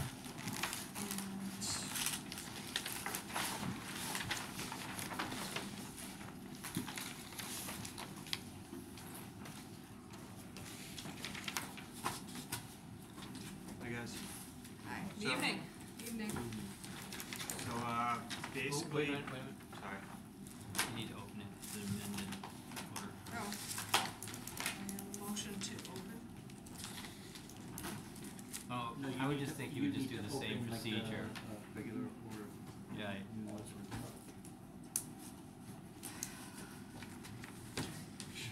Thought this is just, uh, whatever. Public hearing is opened and being conducted concurrently under the authority of the Mass Wetlands Protection Act, Mass General Law, Chapter one thirty-one, Section forty is amended, and the Reading General Bylaw, Section seven point one, hearings conducted, conducted in the following manner. Applicant will present pres- proposal, commission will receive reports, will address questions and comments to the applicant, and the public will be given an opportunity to ask questions which should be directed to the chair. Um, this time, I'd like to introduce members of the commission, starting on my right, Bob Hayes. David Panett? Harry Curtis. Rebecca Longley. Michael Flynn? Chuck Tirone, Conservation Administrator. Good evening. Hi. So the last time you saw us, a plan was approved to put in a six hundred square foot pool. And we had obviously had a couple of meetings regarding, uh, additional plantings, uh, to protect some wetlands. Uh, we're asking for an amendment, we wanted to change the, uh, the shape of the pool, not the size. The only changes to this plan are the, uh, the size of the patio. Uh, the plantings have not changed since the previous plan, the gradings have not changed. Uh, it's, so it's just a minor change from shape. We had questions last meeting um, about what was the difference in size. And um, Jack Sullivan has provided us with a letter. Um, And he also um, mentioned that the previous patio was bluestone patio. And now the proposed is a techno block patio, which has, is supposed to be pervious. And, um, we asked for a, um, a, a sheet, and I didn't get that. in Did we my- get? No, this was emailed to, to us. Um, plans came in and if we got, did we get the spec sheet? I'm not sure. Yep. But it must have come in after the packet went out, so Oh. it wasn't, it wasn't sent. So what type of techno block? It's uh, called Blue Bluestone. It's um, not not Bluestone. It's Blue uh, Blue Sixty. It's just a permeable paver. It's a handmade paver. Are you, are you going to do this application right here? Where they have an under drain? Uh, we plan to just do what we had proposed uh, as last time for drainage. So you're just gonna put the, this techno block on top of a compacted base? Correct. What, well, there's going to be crushed stone on top of the compacted base. And then, uh, but a drain in that, in that area or not? It was This shows a drain, an under drain. the only thing that we changed was the uh, the shape of the pool. So everything else was as planned before. We uh, we were able to get a kidney shaped pool uh, after we talked to a pool company, which uh, pushed us a little bit further away from the wetlands. We kept the square footage the of the pool the exact same. The pool looks great, it's further away, um, but what I see is more patio, so really the big change is the patio, even So, though it's, and, correct, and I think what, what this commission talked about last meeting was, you know, an earlier concept of this plan had a patio, a, a larger patio, and I think it continued in the backyard, and, you know, there, through, s- you know, discussions about getting this, getting vegetation in and not, you know, keeping some room within that back property line, I, I mean, I think you can kind of see here, I think this whole section was cut off. Correct. Um, and it felt like, at, at least from what I saw was, well, we're kind of reverting back to a much larger patio, we're continuing to extend this back, back to that section. It seemed like it was, you, a, a, well, th- why we asked you to come in, it is a, was a different design from what was approved in that sense, and kind of, we were, we scaled it back, and then it was going forward again. I mean, when uh, when we first applied for approval, we didn't talk to a pool company because we were just seeing if we were able to build a pool. So when we finally got approval, we, we spoke to the pool company. They came up with this design. Uh, the pool is slightly set back, I guess you could say, uh, but it still doesn't infringe on any of the plants that we plan to have planted. Which we had discussed last time, and the grading has not changed either, so it's just mirror. It's still six hundred square feet. Uh, the patio has increased, uh, about give or take plus or minus three hundred feet. So that would be the biggest change from the last plan, but the types of plantings, nothing has, nothing has, uh, changed from that, and, uh, same with the engineering for the, for the pool, nothing has changed from that aspect either, it's just merely, it's kind of, a- I think, a nicer shape. The uh, the bluestone is, is not as permeable of a, a stone either. I mean, they're much larger pieces, so what we're using would be a smaller stone, which would allow drainage to go through. Is there a life, uh, lifespan of that stone, do you know, the, I, I'm not sure if we end up getting, From our, from our research, we're told it, it's, it should be at least forty years. Can you, um, sort of explain what the, uh, circles are on the north side of the pool? Yep, it's just uh, just stones. Like, is, is that gonna be a wall? Is that it's, gonna a, it's a stone. It's a stone wall that would. So how, So instead how- of having pa- patio go all the way around, it's just, it's stones that hug the. So how high is that wall? Oh, not not high. I mean, you're talking small boulders So, for the pool edge. So- it, it's just. yeah, a, so I'm just trying to get a sense of what's the change in elevation between the lawn, It's not a retaining wall. Oh, it's It's not a not a retaining retaining wall, wall. it's just, Oh. it's just it's cosmetic, I guess would, is it sort, sort of like, so what's the, what's the design, it's more of a height design. difference between the yard where those plantings are in that northwest corner and the top of the pool? it's all proposed to be level. It's a slight drop off just to drain it towards uh, the the wetlands on the south side. I know. Uh, pretty sure Jack has the elevations on there. Yeah, the, the elevations did not change from the previous approve, uh, approved plan. So all the, ele- all the elevations are the same. Okay, so this, so this pool, there's not gonna be any, um, there's, there's no wall around this patio. This entire patio and pool is gonna be flush with the proposed yard contours. Yes, ma'am.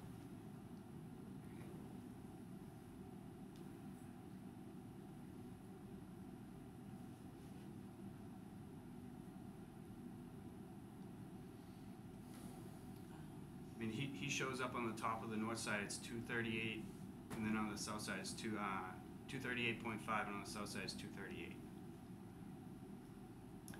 So what is the permeability of these pavers? Do you know, Chuck? Do not.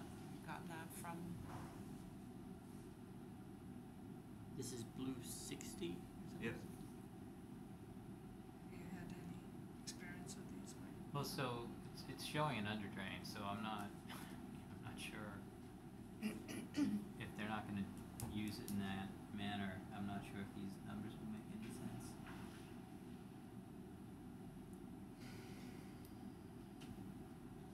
Well, I don't know if the under drain would increase the permeability, which is under.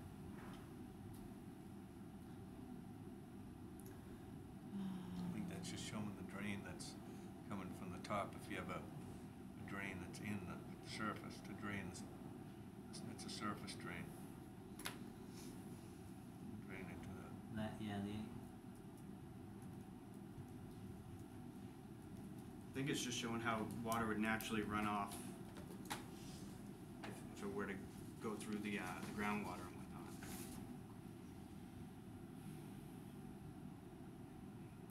The issue you have with these is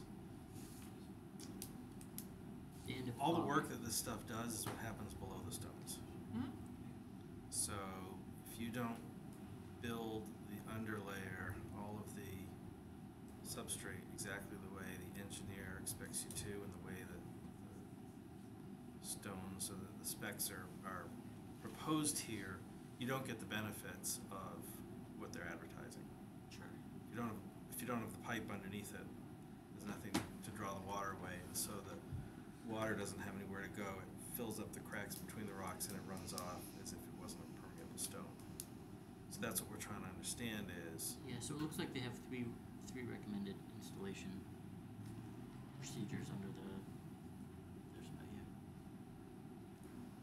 Type A, B, and C.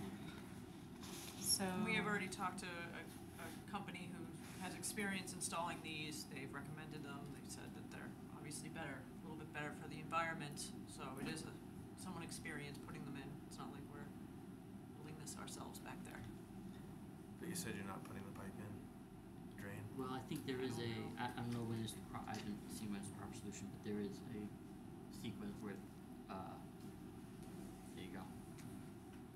the detailed out and Yeah. drain Right. involved. drain Yeah. to carry the I water got, away I that's got on there. their website, five hundred and seventy inches per hour. But I don't know, what's the maintenance on this? Sometimes these don't, they don't stay per, imper, they don't stay pervious unless you continue to sweep, vacuum. Um, That's not a parking lot. This is, Yeah. I know, I know, Yeah. but Yeah. this is only gonna get, you know. You're not gonna, it's gonna get It's not- sand. It's not gonna old seep. skin Yeah, and they- You're not gonna be deaf. sanding it because you're not using it in well, it's the gonna winter. get Right. leaves, maybe. Leaves, yard debris. So, Um, Seeds.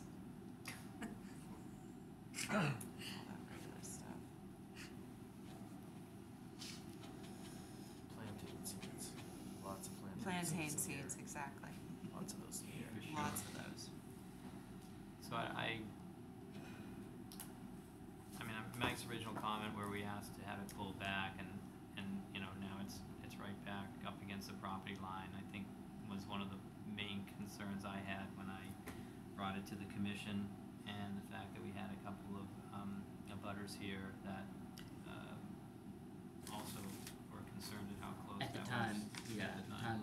At the initial meeting, yes, Yes. and no one had come come since, and we've been here more than once.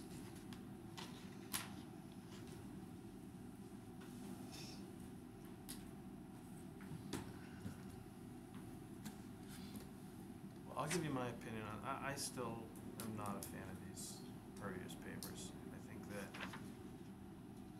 I think they, they have really good advertising, but I don't feel like, from a practical standpoint, after a couple of years of sand, pine needles, pollen, dirt, whatever,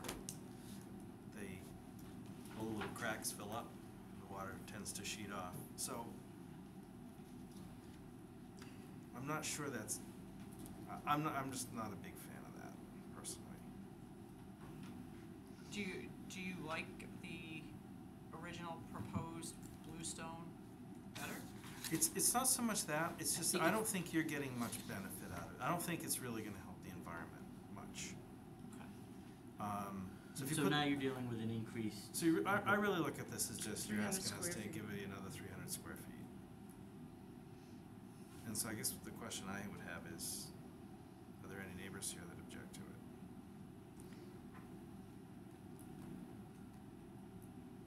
Have you, Or uh, is there an alternative where you, I you mean, think you could give, you could, cut off three hundred you feet? could, I mean, you can rearrange that. It is, Yeah, I would I, I don't know what this is, I- and I don't this wanna is something we, design it, don't but- to.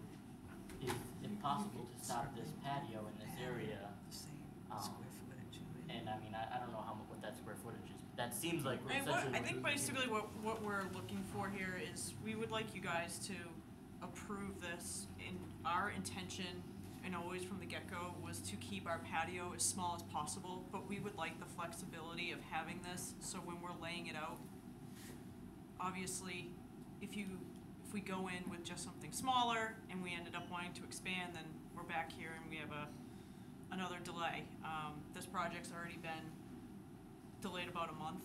We would like to get this approved so that we can get the hole dug before winter. Um, So we can move. so we can move and get an occupancy permit as well. Um, I mean, we're definitely open-minded to, to shrinking that. I think that's kind of always been part of our intent, but I'd like to see some movement so we can get movement on Can this as can well. I ask a question? Sure? On the left bottom edge of that kidney-shaped pool with the patio, kind of looks like a finger and a hand. Sure, yep. Is that an egress to the pool? Uh, yeah, Yes, yeah, how it curves around, yes. Okay, so it stairs there and stairs to the right? it's like a swim out, is that what you're talking about, on the very bottom portion? Yes, th- so the far left part of the pool is the deep end, so that is like a, a swim bench. This right here. Okay, no, Oh, I'm, those I'm- are oh, yes, Yeah, so this is, so this, that- yes, yes, you can get in, yeah, this is patio, so you can get into, it, yes. But is it the? well, I didn't know if it was a set of stairs, I didn't know if that was a shallow end. No, this is, no, this is the shallow end and the stairs. So why is that extra patio, we're talking about this area from the swim bench over, why is that needed? Cause that's probably three hundred Because if you wanna jump in the deep end of the pool, you need to be doing it Is, on is the that patio. needed? Right. Oh. Or is it just a Just- design element? I just didn't know if it was It's, stairs. it's a design element, like you said, to, to jump in the pool. Certainly jump off the rocks if that. More insurance than Jump in you off the for grass, but you wouldn't like that. That's not, And it's One of the probably- other things is, have you ever looked at, is there a, uh, any data that compares the permeability of the bluestone versus the technoblock? Because one of the things you do when you're using the technoblock, you have far more of the, of the, of the spaces between the technoblocks, which is really where you get your highest perm rating. Not so much, that the bluestone is, has no perm to it at all, that's solid stone. Yep. Um, if the Technoblock has a perm rating to it, that should be at some perm rating. But you're gonna get, i- is there, is there any differential between the amount of the, the, uh, spacing between those blocks for the Technoblocks versus the Bluestone? Because it would seem to me that you have far more of those seams between the Technoblocks than you would with the Bluestone. Yeah, I So mean, what's the net increase in those seams between that, which would give you more permeability of the technoblocks versus the bluestone? yeah, I, I don't know the answer to that. I do know that bluestone tends to be a, a lot larger. We're going with a smaller, uh, paver, Mhm. so there, there would be more crevices and whatnot as you're speaking of. So I- I'll just give you my position, you know, I, I know long before you guys were ever involved, th- this site has a, a, a long history in, in this commission and, and I know you guys haven't been involved in it here, but it took a lot to get to the point that we were at. uh, when, at least for me, the point that we were at when we approved this, and, and I, I think, you know, I know this has come up with per, permeable pavers in the past in this commission of like, what is their, you know, are they actually providing infiltration, or is the lifespan low? So I, I think it's been heard that generally they're, Sorry, go ahead. The effectiveness of them is, it's not considered really a permeable surface. Um, so I, I see this as, well, we've, we got it to where it was, and now we're adding, uh, extra three hundred square feet of impermeable, you know, of really impermeable area to this, this project. If we could get that down, I think I, I would, I personally wouldn't have, would have less issue with this, um, as a change. I, I think this is, you know, I see a really small change if we're saying, well, you- you're, you had twelve hundred square feet and your, the change is still twelve hundred square feet. But if you also note on this plan, there's also been an elimination of a shed. Mm-hmm. That was part of your, Is that, isn't that that, was, is that that part was of included though, square that's feet? ninety-six in, square um, feet. And that was the twelve hundred thirty-two square feet of impervious. So you still gained three hundred more impervious How about this? surface. What if you put a, what do we call it? We do this all the time along driveways, but a little trench, Kitchen basin, just a trench along the edge, Trench drain. trench drain. filtration drain? On, on where? Whereabouts? So, the water's gonna sheet from north to south towards, Yep. down, downhill, Towards, towards the, towards the the feature. pond formerly known as a Right. Um, the, so the water's gonna run that way, whether it's going through the stone and then into the ground, most likely, or over the top, right? If we put a little trench drain along the edge in some fashion, would that help Mike to catch the water as it runs off and drop it into the ground there? And then you can have the bluestone that you wanted So, yeah, and, and, and you're, you're, you're infiltrating that water pretty well. we're talking about, uh, essentially a trench drain along Yeah. this edge. Yeah, I- guess I- can live with that, I mean, we're, we're, I, I know the, the landscaper that's gonna be doing the work is, is putting, uh, crushed stone underneath, so that should help mitigate the, uh, the water and allow it to run off a little bit better. There's gonna be a layer of, uh, sand in there too, so it's, I mean, we're not talking about pools of water outside of the pool unless we're having a flash flood. I- I would, I don't think that there would, I mean, there's a half a foot of, uh, elevation change, I don't think that should suffice in that small little area. I didn't follow that, I'm sorry. I didn't either. The, Uh, the top of the lot is at, uh, two eighty-five and a half, and at the bottom it's two eighty-five. Right, so you're, you're, the, the, There's a natural pitch, there's a natural, very slight pitch from Yep. north, north to south, Yep. right? So the water's gonna sheet off. correct? So what that, what that trench drain does is it's, it stops the water from continuing to run over the surface of the land down the hill. Okay, Catches it, stops it, and drops at least some of it into the ground sure. in a way that wouldn't happen and wouldn't have happened with the previous design. Sure, I mean, we can absolutely put And, that. You know, and, and our job isn't to redesign this for you in a way that's acceptable to us, so it's really just a, suggestion. a suggestion, a question to the others on the commission to say, would that be a way for us to find a compromise? I mean, is the, is the biggest issue the addition of the three hundred square feet? Yeah. Yeah. Yeah. So.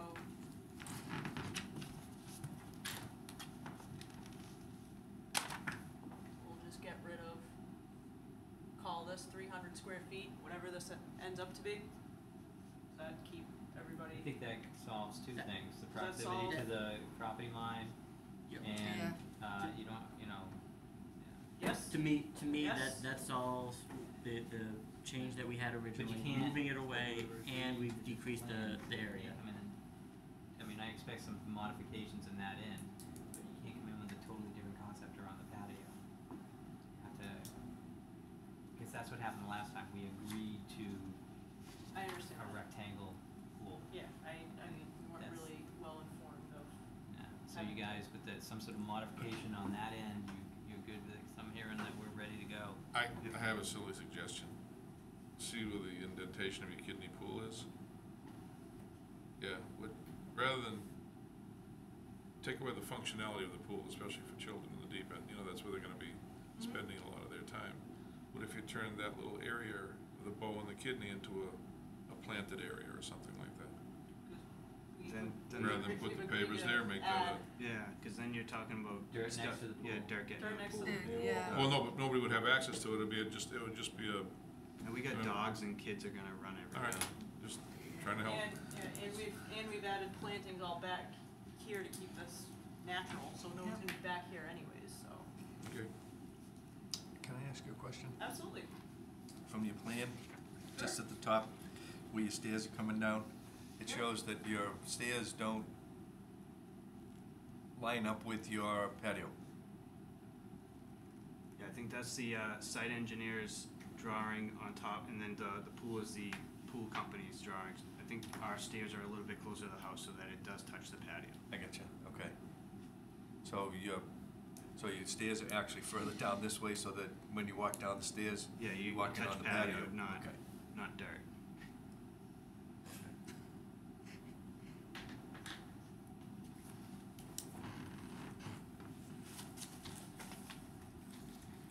What about, Go, go I don't ahead. even know if I wanna say this, but what about a drain, just, you know, a little, a little drain with a Cultec or something? I- catches some So- of You know what, I'm, I'm really Little happy. So miniature is- cul-de-sac, Is, something. is the applicant, I, I think the applicant is, is suggesting that Okay, this, this Alright. three hundred square foot solution, I mean, you guys that's, are saying that's We fair. will, we will make that three hundred three We- go They right, will right away. somehow with Can the we get a pool new company. plan that shows it whenever, even if it's the pool guy that does that? Absolutely. Yes, Yeah. but would you guys be willing to allow us to continue to move forward? I, I mean, we would really, really wanna get on schedule to get this whole dug. So, I mean, act of good faith. I have no issues with that. I can get you a plan within twenty-four hours. You know Jack Sullivan very well. He did backflips to get us on the agenda for tonight. So he will have you a plan that cuts off that three hundred square feet if you'll approve this and allow this to move forward. I, I don't have a problem with I that. don't have Um, a but problem. before we go forward, uh, is there, are there any abutters, any comments from neighbors? Yes, sir, could you Uh, identify yourself? Bill Redford, eighteen Maple Ridge Road, and one of the notified abutters. Um, Not speaking in opposition, uh, but certainly any, uh, development, uh, that's pushed back from the property line, I'm sure would be appreciated, uh, as the original design was intended. Thank you. We're, we're meeting that. Yeah. that original intent. So with an amended, amended, what's the process with the amended? It's exactly like a notice of intent, it's the same exact process. If you feel like you wanna put on some more conditions, you can. Um, and, and if this went to appeal and they lost the appeal, the only thing they wouldn't be able to do is what has been amended, the original order is still intact.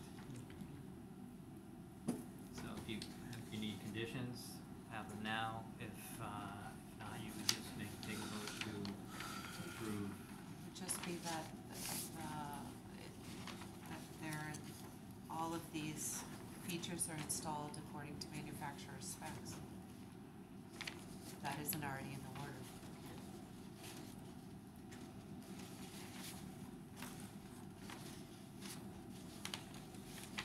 I think they're gonna use, uh, example A, concept A.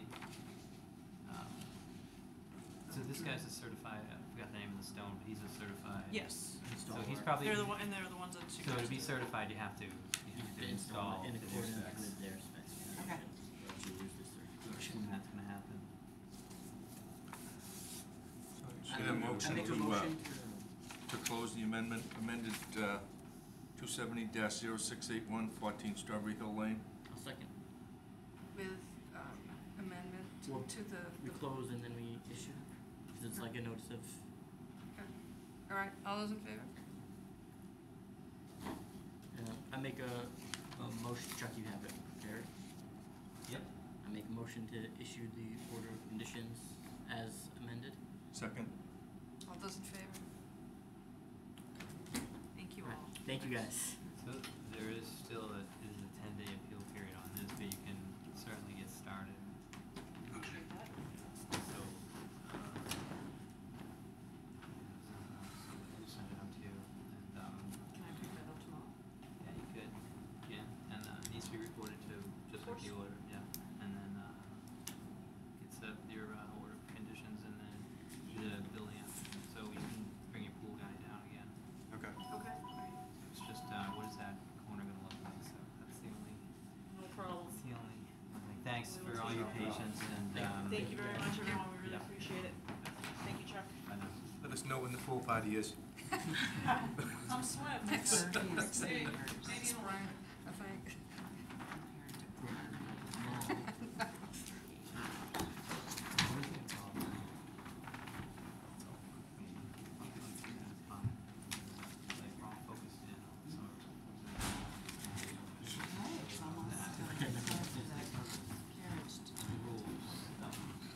Okay, we have, uh, notice of intent, two seventy forty-eight, uh, there's no number, it's for forty-eight fifty-four Franklin Street, map fifty-two, lot twenty-four and twenty-five, S and L Homes LLC. Um, This is a, a notice of intent, and it's a public hearing. It's being opened and being conducted concurrently under the authority of the Mass Wetlands Protection Act, Mass General Laws, Chapter one thirty-one, Section forty, as amended, the Reading General Bylaws, Section seven point one. Applicant will present the proposal, commission will receive reports. Commission will address questions and comments to the applicant. Public will then be given the opportunity to ask questions of the applicant, which you should be directing to the chair. And when you do, please give your name and address before your comments and questions presented. Um, At this time, I'd like to introduce members of the Conservation Commission, starting on my left. Chuck Tirone, Conservation Administrator. Michael Flynn? Rebecca Longley, Chair. Nikki Scanlon, Vice Chair. Harry Curtis? David Panett? Bob Hayes. And Rich Stewart, S and L Homes, one of the builders. Uh, We had notified Chuck earlier, unfortunately, our engineer, Phil Christensen, couldn't be here tonight. We did want to open the public hearing and get some feedback from the commission. Um, As you know, this is a subdivision, we've already been in from the planning board, uh, department head review, and we had another meeting with the town engineer, Chuck, and, uh, in planning last week. Kind of caught in the middle of a redesign right now. We had proposed some low impact development techniques um, that were encouraged, but we're getting some resistance from engineering, so we're trying to uh, massage the plan to keep everybody happy. So this plan you have is what was originally submitted. We are working on a redesign incorporating some granite curbing, uh, catch basins, kind of adding some traditional drainage. We're trying to keep uh, one of the grass swales, um, increasing the pavement width to twenty-six, we talked about um, sidewalk on one side.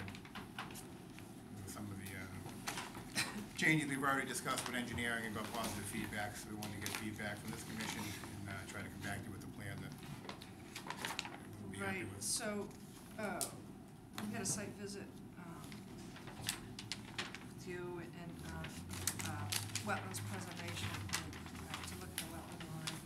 Um, and plans that you folks have, um, the cul-de-sac, those, um, best management practices have been changed, um, according to, you know, because of, uh, review with, uh, Engineering wants a bigger Engineer. road.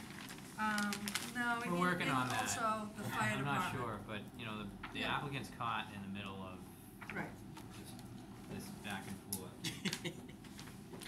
Um, we did look at the wetlands line, uh, and walked it with, uh, what's Kurt's last name? Kurt Young. Um, and they hadn't had, he hadn't had the opportunity to actually do plots. And we asked him in a couple areas, there's an A series and a B series, they're connected. Asked him to do some DEP plots, uh, in the A and the B series. Um, So, at some point, I guess they will. My web search. Stop. um, they'll be doing that. So there's still a lot of things up in the air on this project. Just so I have a frame of reference, I wasn't on the site visit, but I, I did stop by the, the cul-de-sac, and I think I'm realizing this now.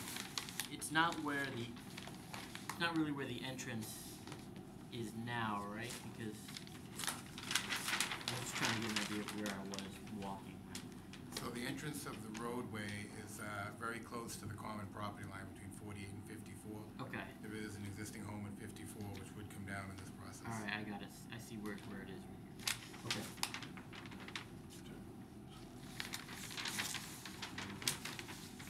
So the the only thing I would add is, um, I got some, I got a plan from Phil that showed four LIDs, showed a infiltration system or piece in the center of the cul-de-sac. And then I was asking for our jurisdictional setbacks. So I'm not sure if that's gonna change at all. You just said there's one, and Yeah, so. that, that's essentially the plan we filed with planning board. Um, So that center cul-de-sac, um, LID feature is gonna go away. The town really wanted that paved, um, for plowing and other maintenance issues. And Yeah, that you're plan's gonna gonna lose the Li, uh, four detention pond basins on the side. Probably two of them. So one side, or the other side? The idea is to have, have granite curbing and sidewalk on one side, and curbing acting as a, uh, kind of a bumper for cars and adds some protection for the sidewalk. The. So on the side of the road where we have the sidewalk, we'll have granite curbing. Uh, once you add granite curbing, it's kinda hard to have LID techniques with a sidewalk up against it, so the thought is to, um, take some of that drainage across the street to a couple of LID features on the right side of the road coming in Yeah, I saw that, I saw that drainage Um, area increase. small portion of the drainage going into Franklin Street. We have an existing catch basin at the entrance to the property. Uh, Julie had sent both of you, uh, something this afternoon that showed some examples that came from her chair of her commission. And she wanted you to look at that and get back to her. Um, So those were some, uh, hard and soft concepts combined into a, you know, a plan. Yep. Looked, I thought some of those things looked pretty good. It showed exactly what you were talking about, swale, sidewalk, trees. Yeah, I think engineering, they may work on one side of the road. I think the sidewalk area, there was still some concern about water near the sidewalk. Right.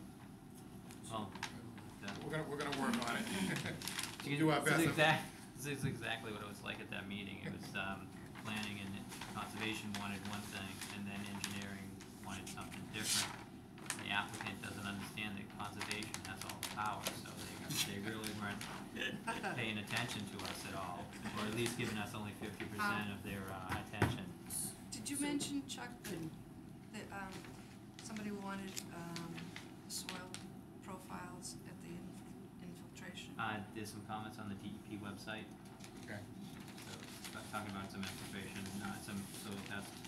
Yeah, we have some that were taken out there. Every lot had a, uh, deep hole and, uh, I think, uh, Phil used a demonstration that's Right, but they're talking about exactly where you're putting the infiltration systems in, so that's, just read that.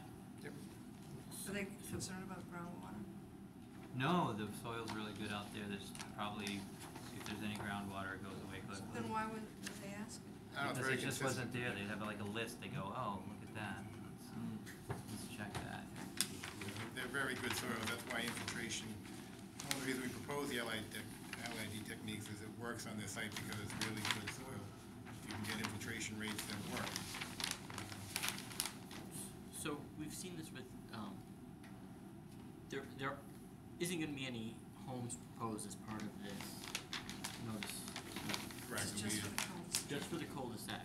Um, now, are the, the, you sh- on the erosion and sedimentation control, you show some outlines of, or maybe, I guess, are the drainage features going to be sized and designed, I, I know there was some calcs in there, for a certain size house on each lot?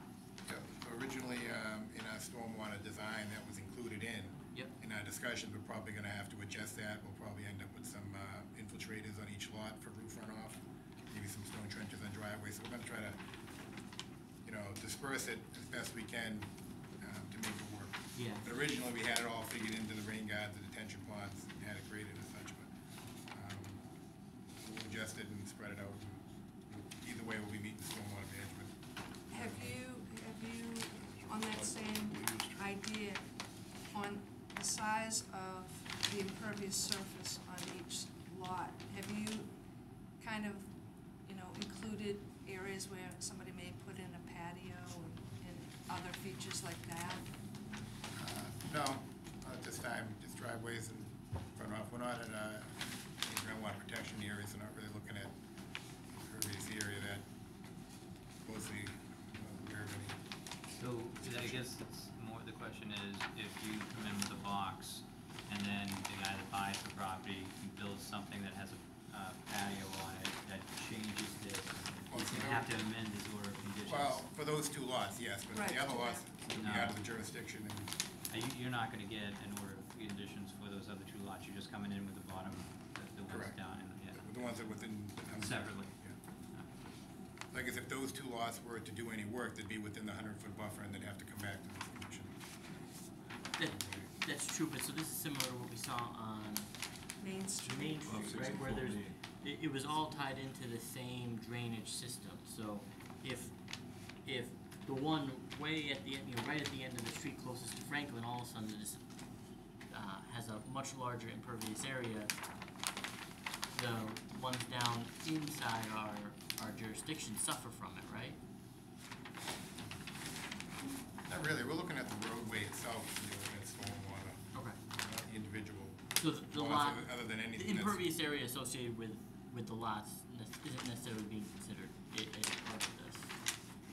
Right, unless we were putting it in the roadway, which originally we were, but now we're gonna take care of it on the lots. If we were putting all that, you know, driveway runoff into the roadway, then yes, we'd have to account for that, and if the detention pond were down the end, then yeah, that would be a issue, but we're trying to Now each lot had, yeah, space because of it out this, divide it up to try to. because of this change, each lot has to come before us separately, or really just the two that are in our jurisdiction, that each lot is gonna have to figure out their own little, Correct, their own little deal. I, that's fair, fair enough, then, thank, thank you. It keeps it cleaner with the separate NOIs for the road and the two lots when it comes time for certificate. Absolutely. Can these, um, infiltration areas also function as vegetated areas? Yep, so what we're leaning towards now are uh, grass swales. is What we're gonna be looking at the LID techniques. The infiltration, the maintenance, and the, the uh, benefit you get of running it through the grass. So you're still, that's still being developed? Yes. Um, I don't know if a variety of plant species actually helps that or not, but that's something to consider. It can, but because we're working with the road that we intend to hand over to the town, we get a lot of feedback from even the chairman of Planman said, whatever we do has to be vetted by the town engineer. As much as they would like us to go one way, they have to maintain it, so at the end of the day, um, you know, I don't know if the town wants to be maintaining plant species. Lawn area is more likely to be maintained by the homeowner. You Can't guarantee that a homeowner's gonna go into the right of way and, you know, add plantings change mulch. But if we have an opportunity use rain gardens on the individual lots as part of our drainage, then we may look at that.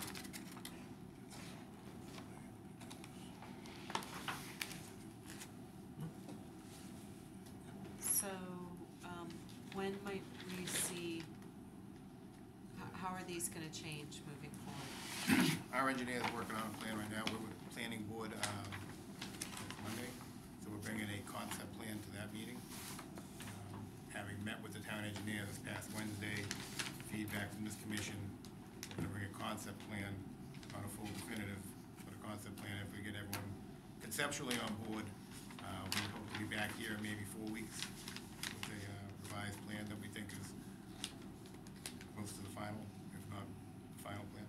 So as far as feedback we give it, did, did we have any, I mean, we asked for some plots, but did we have any issues with the line that we saw out there? Yeah. Okay. Half of it looked good, the other half, I mean, half of it was real easy, ha- and the other half was kind of unusual. There's a couple spots that I thought was unusual. That, that tree thing where he came up from the tree on both sides of it, that can't stay like that. Um, remember that? Yeah, but there was, a- I mean, that just has to be cleaned up, and then down along with that, where, we're asked him to do the plot, that's one of the spots, and I thought that was a curious area. I don't think anything would affect the cul-de-sac or the houses, it's not. it's, it's a bit of It's not ways. twenty feet, Yeah, it would only Yeah, be. it's I a mean, ways it looks like they're Five- just five within feet. the one hundred. Yeah. The cul-de-sac is barely in with the hundred or, Yes, so. yeah. But there's some cleaning to that line and it's not, so that was somewhat given to the, It's a, the you know, when you look at the line, it's, it's, he's being very accurate. It just, it doesn't, you know, it's not along a, along a topo line, it's, it's, it's really jagged. And I don't know if it needed to be that accurate. Yeah, Or, I mean, there was one area I thought. calling it accurate, but I don't, I Dry. mean, was that, well, he totally made up for one side, uh, being in the dry on the other side. One thing that would be helpful for, I think for all of us is Too accurate, I haven't heard that before. the, uh, the Well, I usually see straight lines, and this is, this is like In a that sense, saw, it's it's like. lines.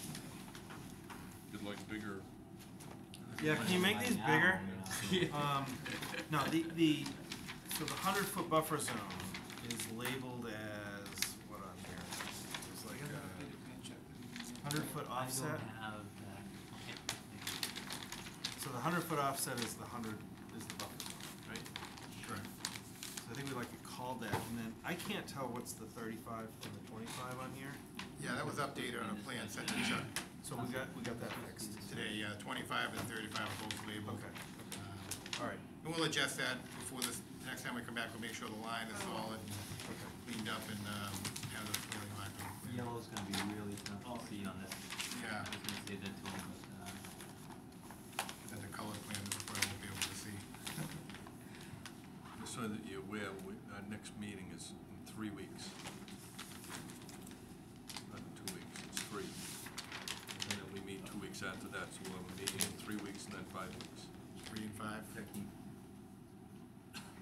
I guess we could always, uh, shoot for the three weeks. If we don't have everything nailed down, we could continue.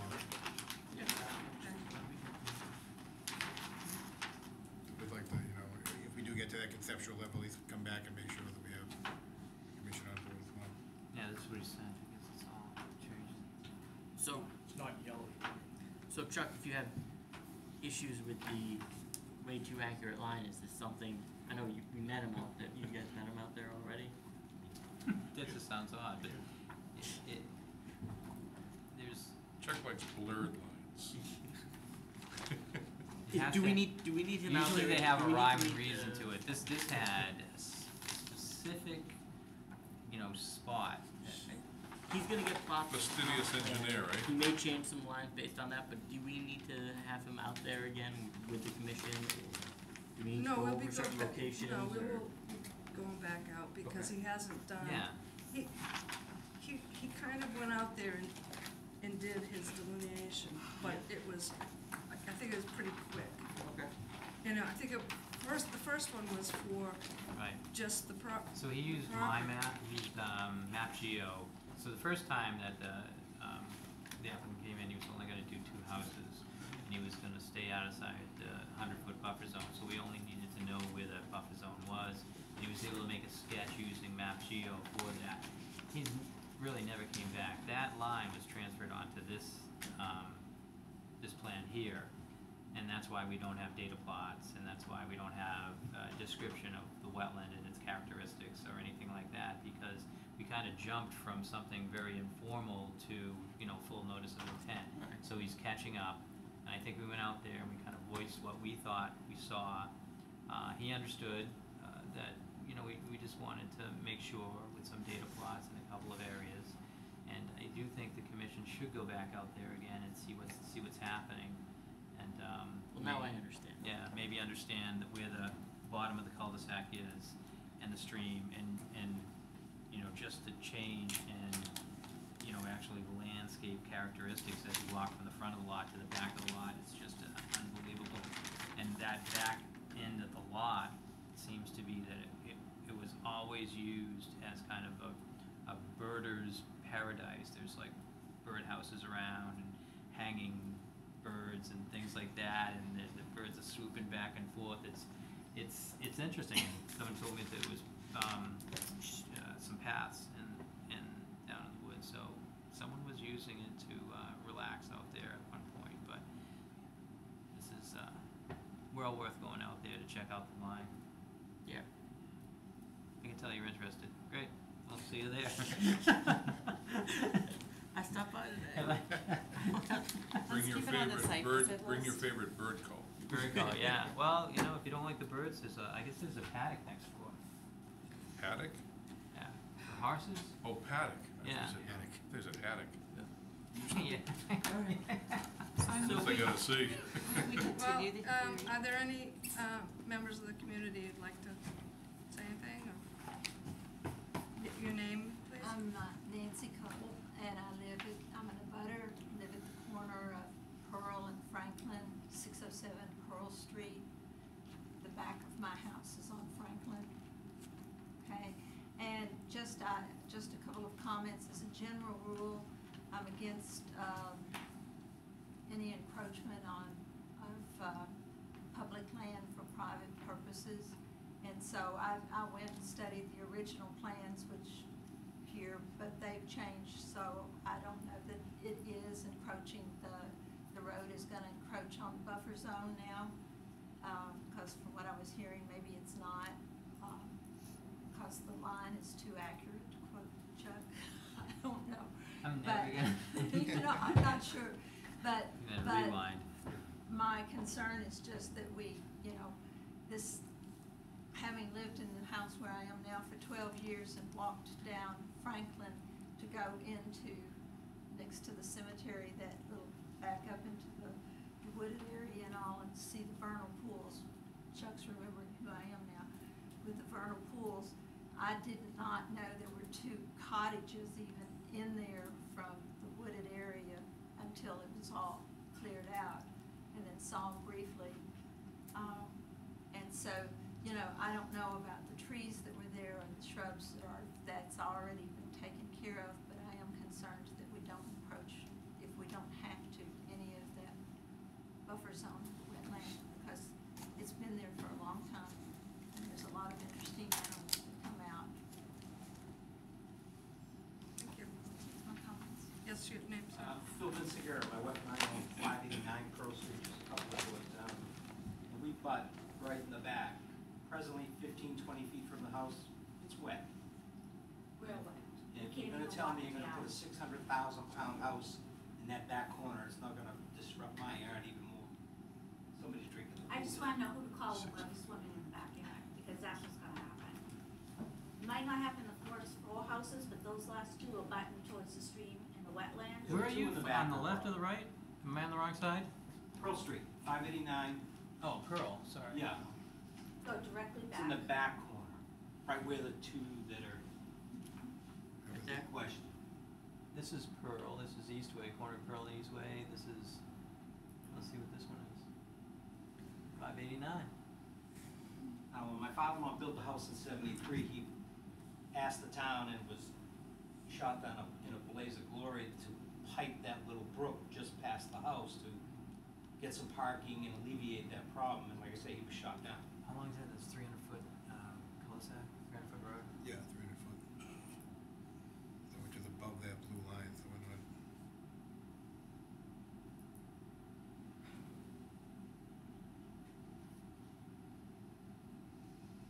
Three oh one. Yeah, right, right in here.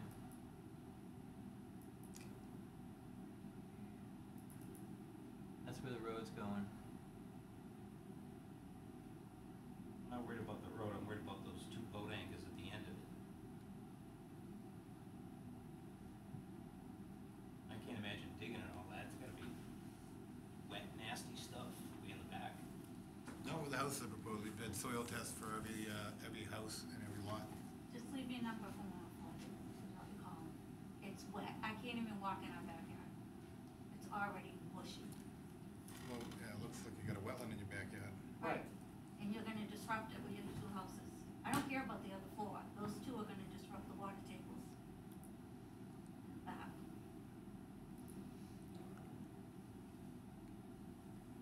down the road recourse.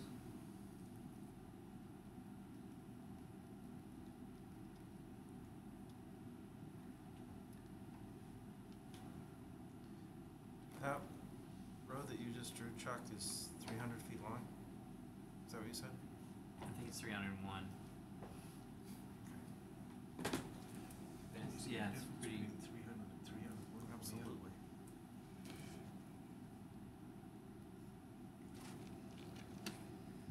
yeah, so I don't know I don't know where the houses are going, but, um, You gotta angle off the cul-de-sac on both sides. yeah. Somewhere here, somewhere there. There's, it sounds like there's a lot of work to be done still. Yeah, I- yeah, Sounds it's like pretty the- the- preliminary at this point. The wetland line is, may change still a little bit, understand that a little bit better, we'll understand where the, the cul-de-sac will be. That's the side I was worried about. Which, show me which, way- where. Right where get- we're talking about, this is right here, where I'm- I was saying, I wasn't sure about the line, the side. Right. And this is where, you know, here's, I don't even know where the What's fence that is. Where's feature? Fence. Yeah, I think I, That fence isn't on there, is it? The You know, abutting where the, property. where the end of the, the kind of the corral. It's gotta Is be that what right that here. blue is? It's gotta be like right here somewhere. This is a uh, stream. I don't know, maybe we can see it. Oops, that's not what I wanted.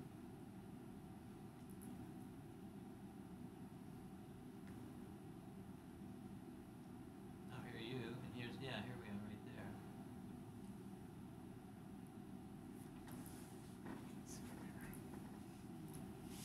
Oh, I see.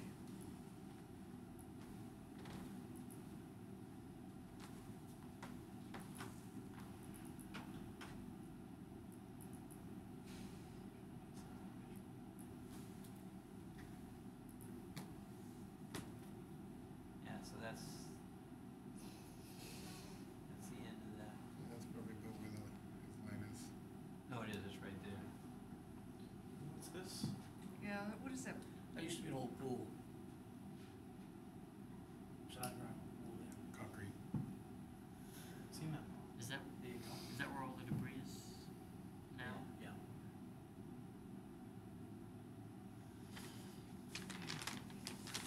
Okay. Have a motion to continue? Make a motion to continue? Second. All those in favor? Um, So we will see you, yeah? just for the, uh, abutters that have concerns and wanna attend, this is something that, it's gonna stay on the agenda, right? Um, But you won't be re-notified. So if you wanna know, sometimes if, s- even if they don't come back in, if they don't make the next meeting, they've got too much work, it's still on the agenda. Yeah. So your best bet is to call Chuck to see if they're coming back in. So I, I just don't want you to come and show up and wait until this time and not have anything happen. Okay? Will the plans be filed? Will the plans will the plans be filed to, you know what I'm saying? You don't, we don't have plans yet, No, but when they get the new ones, so we can see, because the, the road has changed, uh, where they're gonna lay out the houses and stuff. You know, it's, it's easiest if I can, once I receive the plans, I can send them out because they're public documents. But it would be easy if I could just send you a PDF That's and fine. then you don't have to pay for paper copy. I just come with my cell phone and take pictures, but I'd That rather work have a too. PDF, I'd rather have. Yeah. Okay. Thanks. Thank you. Thank you all. Thank you. Thank you. Thank you.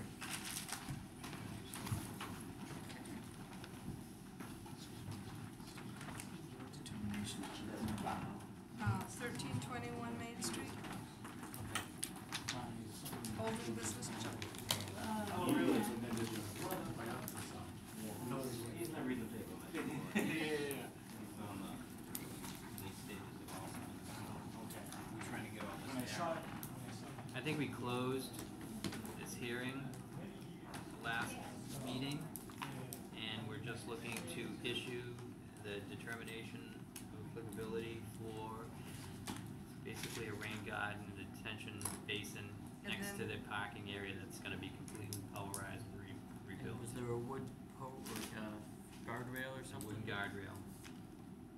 Do we have something extending down to the street? The And extend swale. the crushed The one stone thing that didn't happen is we didn't, I didn't get new plans from Jack on this, so. It was a, it was a trench Okay. from the, from Main Street. So I could get new plans, that's not a problem, you can still sign if Right. you want. But I did prepare this. Do, one of the things. We we voted did, on it, uh, right, already? We voted on it, they might vote to issue it, but we did vote to close One of the Motion notes- to issue? It's a I move we the issue meeting. negative determination. Do I hear a negative second? determination, we. All those in We favor? don't vote to close and then. Just raise your hand.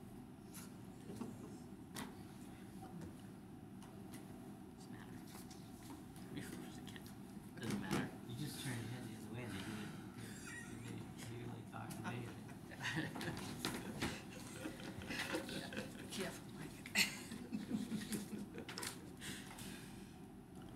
Chuck, is it, um, the fence, proposed fence on this, is this part of the order of this? This is part of it, yeah. The fence, the wood fence? The guardrail and the. Guardrail. Guardrail, cause it was, uh, you know, the, the only thing about the, uh, putting a wood fence beside that, you're gonna have to replace that every year. Cause someone's gonna hit it. Because of snow pla- because someone, someone's gonna hit it, and when they No. plow the snow, it's gonna go Just over. make it We told a- them, we told them we don't want make them plowing snow in that over there. No, just when you go and to take it out, s- some squishes out the other end of the plow anyway. Just make it out of little railroad ties. Right. But if you had, you know, like steel Environmentally bollard friendly. posts with, you know, some kind of a guardrail in between, if you left that open, then, that, then they wouldn't have to replace it every year. I, yeah, I don't know what's, he's probably gonna replace it two or three times before he goes to guardrail and, you know, steel. Chuck, do we have, uh, any, Are there any But my Yeah, we question have, uh, I just wanna update the commission on, um, Alligator Alley. Alligator alley. Alligator Alley, Oh, boy. August twenty-seventh. Seems like that would be this weekend. They'll be out there around nine o'clock to three o'clock. Uh, Access from the council ring and the town forest. They plan to extend the ramp at the wood end of Alligator Alley. There it is right there on the plan. We've been out there many times. Our Trails Committee is top notch. They have a great design and they, we have CCR-like trails here, at least the newer ones. Some of them, I can't tell you everyone is a great trail, but the ones I've seen, Tertian Woods, Town Forest, Bear Meadow, nice, good looking trails. There aren't any boardwalks in Bear Meadow, I don't think. Yeah, there are. There's a bridge over, s- over something. There's a couple of big ones, Yeah. um, on the Haverhill Street end. Yep. Well, really? Yeah. Yeah. There's an entrance from Haverhill Street. I live on it, that's why I'm wondering, I've walked around there and I, I don't, haven't gotten over the Haverhill Street side, so So I if you go to the viewing platform, down Sure. through the field, straight ahead, Yeah. pretty much right there. Isn't there one right there? I Yeah, there's one three, right there. there's three, two or three bridges down there. As you go down the, that trail, I forget if that's the yellow trail, it's the yellow trail, you hit the white trail. The white trail goes out to Haverhill Street, the white trail's got a whole bunch of, whole bunch of raised platform. Nice. Well, Composite decking and very. How long have they been there? Five, six years, or maybe a little, ten years. The bridge, the little bridges at the base of the hill have always been there. I- I- I-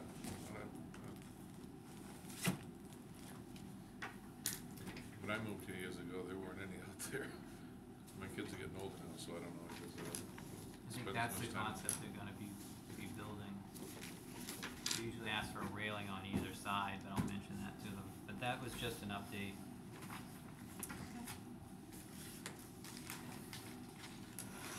Interesting. no minutes? No minutes. No minutes. Any bills, any emergency permits? No. No? We're all set? Make motion to adjourn. Can I just talk about a couple of things for Becky's sake? Sure. A second.